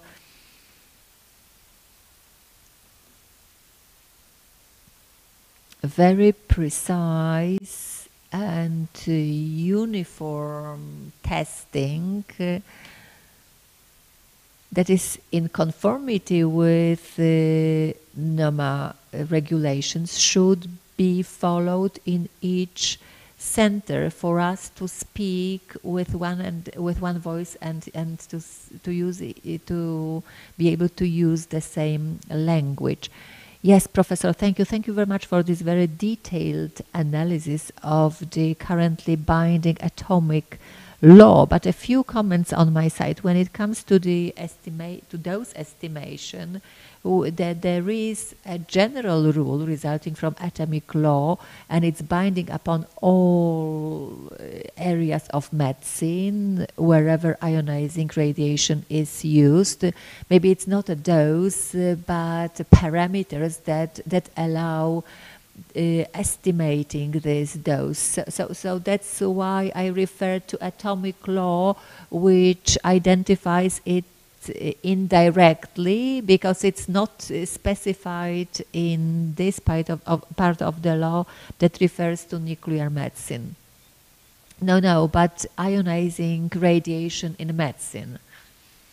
And another aspect that I would like to expand on, because again, uh, today we've heard it almost in every presentation, good practices and their relation to law, to regulations, and the role of national societies, national association in promoting good practices and in the creation of law. And you have very rightly suggested, Professor, that diagnostic monitors that are used in nuclear medicine, but they are not regulated by the currently binding law. There are basic tests for PETs, but no specialist tests. The problem is that this regulation comes from 2017. When we were working on it, we couldn't find such uh, recommendations, international recommendations. Although I myself, I would prefer to have uh, recommendations by Polish Society of Nuclear Medicine, medicine I'm sorry, or uh, that would tell us that tests uh, should, that quality control tests should be performed this way or that way we, we, we couldn't make a list of specialist tests for PETs at that time. What we can find in the regulations, this is our duty, this is our obligation. We cannot put anything there. We, when we speak about good practices, we can say, well, this is, it works this way here and that and, and in another way, uh, in another way somewhere else, because this is good practice okay, and we can live with that. But whatever goes into law, then mm, it's, it's, it's, it's set in stone. So, so that's the problem. So in the National Center, we are trying to arrive at a situation whereby we'd like to shift most of it into the into the area of good practices. You also uh, mentioned uh, measurement uh, consistency and nothing more. And, and we had long discussions what should be put there. The more we were putting into law, the more was left outside of it. So the role of the Polish Association of Nuclear Medicine to me is paramount. It's, it's, it's fundamental in it because for for um, radio safety or uh, of our of our uh, patients. So I'd like to stress once more again the role of the Polish Polish Association also of uh, medical physics. And I hope, I do believe that as a result of this project, new reports will be presented or new publications of the Polish Association of Nuclear Medicine that would be then uh, transferred to the Minister of Health. Soon we'll be working on the new uh, regulation on tests. Uh, there will be th there are new tests, specialist tests in the pipeline uh, related to PET and the development of nuclear medicine and, and, and anything where we have medical imaging. Uh, the progress is so fast that if we don't have good practice, we, we will not able be able to, to, to, to carry on. Good practices are not very popular because the, the, the, this is not regulation. Uh, and what we really control when it comes to conformity is conformity with regulations, while the approach to good practices is not uh, as I would like it to have. When clinical audit starts, those mentioned by Professor Płachcińska, this good practice will be introduced. Yes, but, but what, what, what I would like to stress strongly is the fact that, for example, NEMA standards or recommendations of the European Association, well, in accordance with our law and our legislation, and I have demonstrated that, uh, it's not, we cannot say that these are NEMA standards, so they are not ours. Our law, I showed it on one of our slides, uh, obliges us to follow these standards and to to observe them. So even if uh, it's not stated explicitly in the regulation, but it's still in the standards, we should observe them and we should comply with them. That's why uh, in my center, uh, monitors are tested regularly. Uh, we draw up reports uh, as uh, always after each test and then they are included into the documentation of our center. So, so, so these things are being done. So, so it's not that we are saying, well, either I will stick to it or not. We are generally obliged to stick to these norms. That, that was the idea behind, behind this, this provision. We I must say that we had a lot of problems to keep this provision in the regulation. I'm not sure whether it will survive in the next amendment, amended in, the next amended version, because it makes refer. It, it's not very precise, but the more precise the wording, the less chances in, it stands to to work and, and to survive. Yeah, because then it also becomes completely illegible. Well, are there any hands raised? Yes, Professor Anna Płachcińska. Piotr, could you please give the floor to Professor Płachcińska?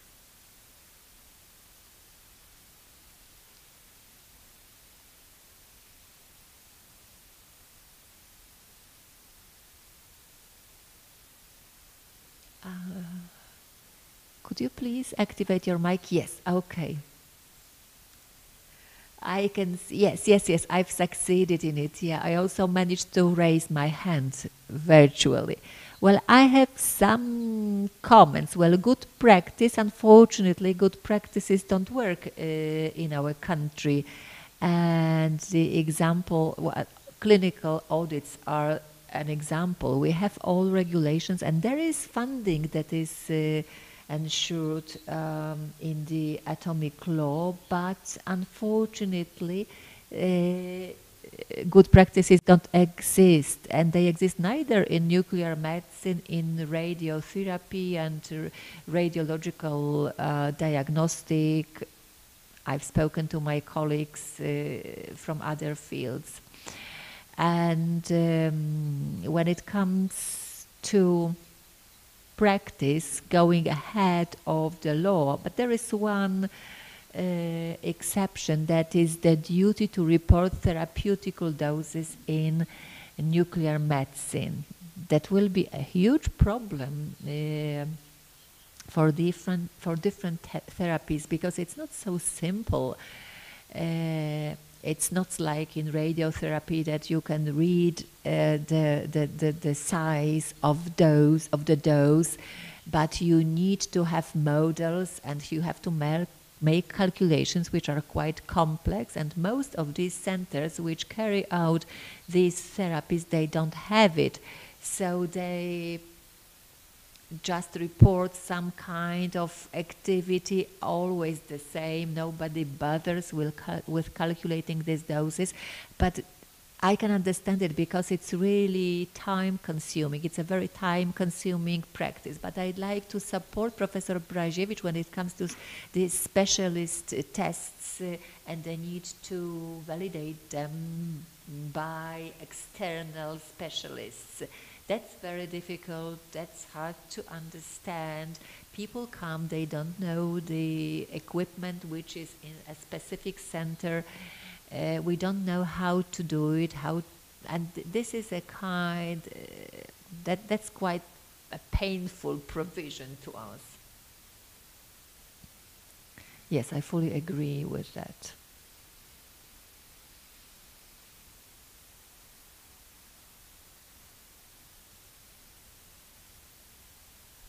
Yes. Can you hear me? Yes, yeah, yeah, I'm back. Well, in in general, I agree with, with, with what Professor Płachcińska has just said. Yeah, I understand. Uh, and I, I, don't see any problem and discrepancy here because when we speak about specialist tests, about uh, comparative tests, uh, so laboratories which do it, or commercial laboratories, mm uh, maybe radiotherapy. That's that's uh, another uh, issue. Uh, but uh, when it comes to diagnostics and interventional uh, radiology, tests are prepared in such a way that they should be independent of manufacturer of the equipment and all settings uh, of the equipment are done locally by people who use this equipment so i don't see any problem connected with this comparative uh, tests. We can discuss whether all of them should be performed or, or not all of them, but that is uh, that to some extent reflects the way uh, how it is done by accredited laboratories. Why two different teams should work on the same equipment in order to ensure consistency, repeatability, stability. You also drew, have drawn our attention to the fact that it's not uh, specified precisely in the provisions, but that's because we wanted to leave the room for maneuver. We don't want to specify how it should be done. This, this should be perhaps uh, specified, uh, we've left the details for the Polish Association of uh, Nuclear Medicine. Law provides some background for what we expect. We expect comparative tests. Um, if they are, well, measurements were made internally, locally, they can show perfect performance but they may be biased with a really significant uh, systematic error, which will never be identified without comparative tests. That's why that, that, that, that's, that's the goal of this provision, and, it, and it's quite clear. And another thing, well, I, I, think we, we, we, we've covered most of it yes, director. I have to switch off because at six uh, at, at four I'm sorry at 4 p.m. I start a PhD graduation uh, mm, uh, defense. Uh, so uh, thank you very much, thank you very much, and thank you very much for your critical approach to these provisions. I do hope that some aspects have been clarified, but there is a lot more to come. Thank you, thank you very much, Professor, thank you. Yeah, thank you, ladies and gentlemen. If Professor Płachcińska would still like to take the floor, yes, yes, please leave your hand raised. If not, could you please cancel it? If any of the participants would like to take the floor, then the floor is yours, of course. And, but please raise your virtual hands. I can see a question on the chat box. Just a second, I'll try and show it.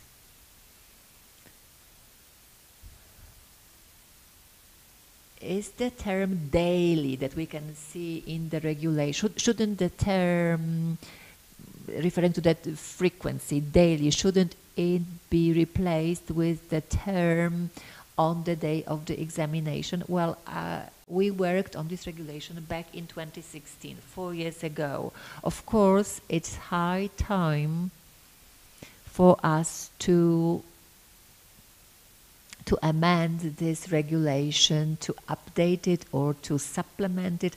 I will be encouraging you to get involved in the process. So whether the the term used for frequency should be daily or on the day of the examination, it, it, it's a valid question.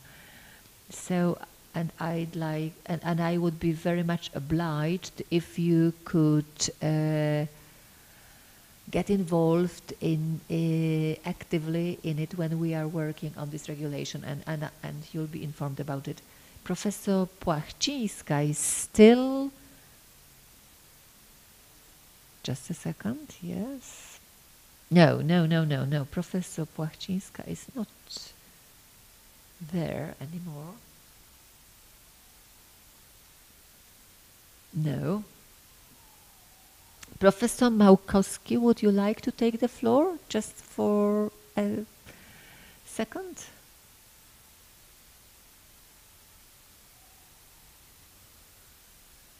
Professor? Would you like to take the floor?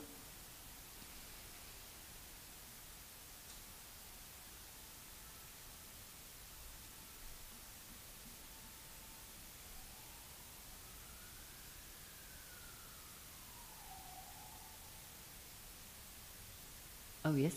Yeah. Yes, can you hear me? Yeah. Well, when listening to you, uh, when, when listening to these presentations and comments, uh, I, well, all of us have realized how wide area we are dealing with, and and an area and an area. Uh, which is not very precisely identified. When, on the one hand, you are right, uh, director, in saying that uh, striving to develop good practices should be um, our regular practice uh, because our people, our staff should feel that this is how it should be done because we are do it, uh, doing it for the sake of our patients, but also for the sake of ourselves, to protect ourselves. But on the other hand, when we don't know Uh, what the problem is about, it's usually about money. Uh, we are working under uh, mm, within a certain system where money is also informed, and what is not specified in law, uh, then our superiors, our employ employers say, um, well, it's that it's not required by law, so why should we spend money on it? And then we start free riding. Um, and um, and it's not always and, and, and by costs I don't mean our remuneration or our salaries but also funding necessary to support certain organizational changes. So I believe that it's a very wide area uh, which is why also you will have a lot of work, director, in in the years to come. Thank you, thank you very much for this reassurance. I'm not sure what's the view and perspective of the Minister of Health. Of course, yes, you are right, but I think that unless we start discussing good practices and uh, unless we start putting these good practices in place unless we start changing our mindset and our approach to good uh, practices nothing will change because either we have this mentality of uh, observing just uh, strictly binding legal provisions and uh, uh, and, and nothing else. Uh, uh, and we are trying to please both sides. And then, when developing further regulations, we those who develop these regulations are pressed on to include as much in these regulations as possible. And atomic law is a good example of that. If uh, uh, there is anything that doesn't feature in other regulations, then let's put it into the Atomic Law uh, Act. There was a moment when Atomic Law Act uh, uh could uh, also include uh, laws and provisions and, and regulations for the profession of a medical doctor. And that's not what it is all about. about.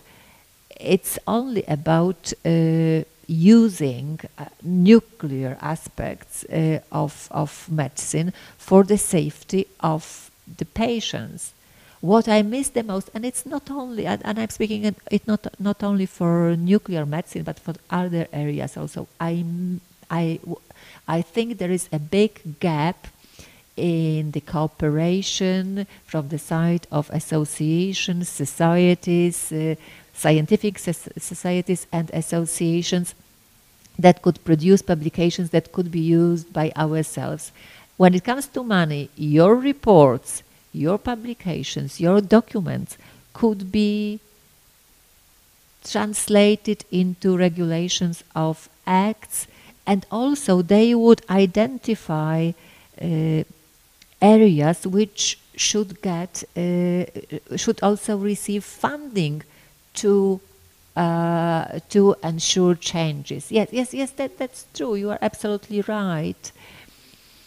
But uh, how big uh, this uh, yeah gradually we can we can of course achieve something but how big this pressure must be well we have on the one hand we have excellent tools but on the other hand these tools are so sensitive to external impacts and also to internal complexity of the equipment that they need to be controlled so that the end result for the for the patient uh, um, were uh, reliable in terms of uh, information, but also safe. I do hope that next year, when we are uh, when we are summarizing this project, we'll be able to come up with a document or material that uh, will help to introduce and disseminate these good practices. I hope that next year, by the end of May, we will not be restricted so much by the COVID pandemic and that we will be able to meet in Białystok and we will have a bigger forum for discussion and there will be more people participating. Uh, in the process. Thank you. Thank you very much, Professor. Thank you for your comment. Are there any more people willing to take the floor?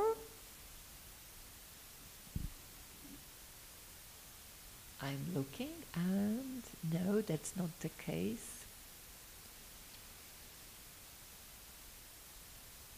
Just a second. Yeah, I can see that Mario Marengo is writing to us. Uh, let's uh, wait for a while before we close uh, today's event. In the meantime, please forgive me uh, if uh, there were some problems during uh, the meeting. Piotr, could you please display this comment or question?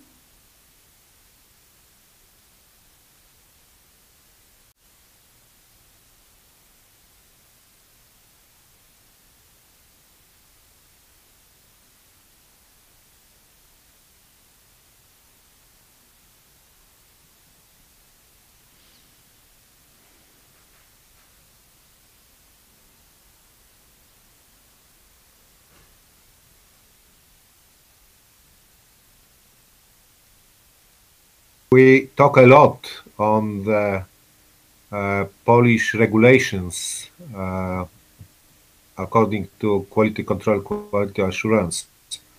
And we see it that it's a little bit uh, overregulated, uh, but we are working on it.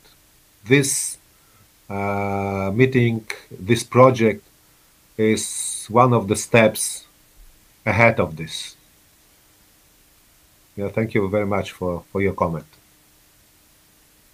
Mario, if you would like, uh, Peter, uh, may you switch on Mario to see him?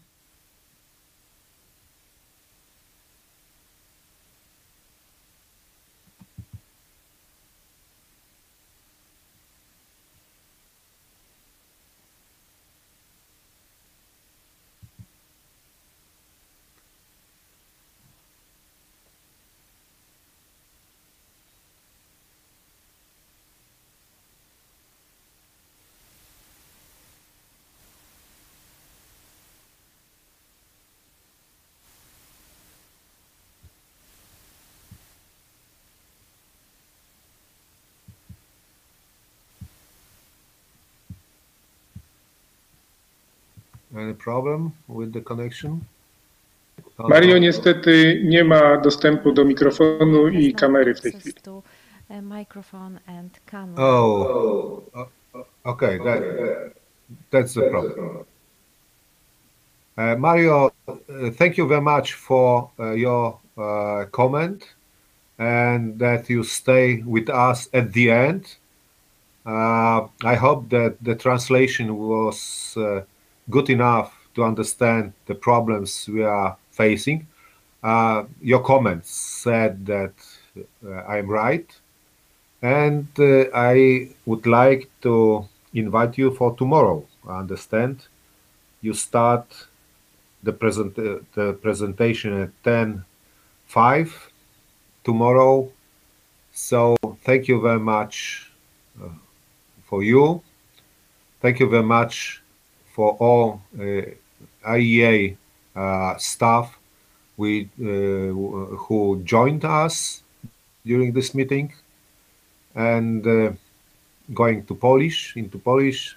Dziękuję wszystkim Thank you. za Thank you uczestnictwo. all for taking part uh, in this first day of our meeting. I hope we didn't have too many problems. I hope it was all right. Although, to me, it's completely new situation uh, to uh, deliver, to, to, to chair this uh, conference remotely, but I hope uh, that I was quite successful. I can see that Director Agnieszka Strzemieczna, uh, I, I think that she would like to say something, or maybe I'm wrong.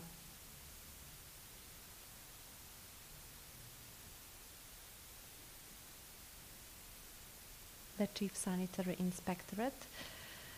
Is there a contribution from the Chief Sanitary Inspectorate?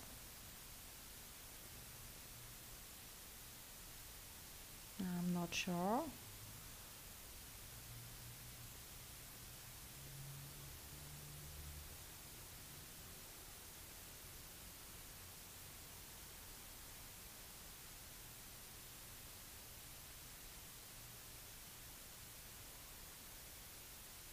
Possible, Piotr?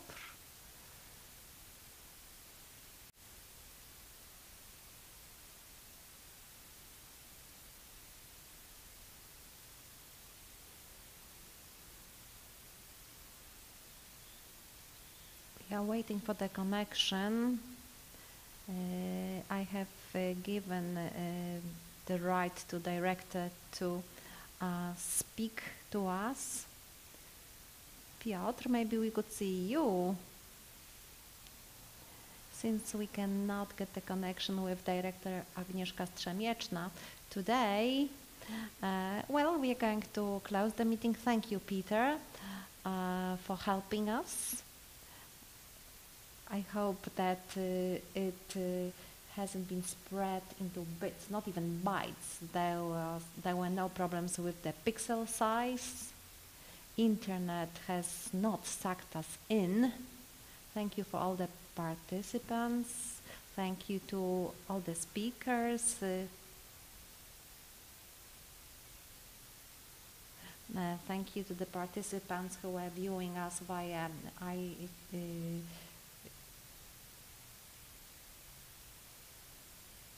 so we are going to see you tomorrow at 10. The platform will be open at 9. So thank you. See you tomorrow. Have a nice and healthy evening, and I hope that uh, the next evenings and days will be uh, healthy.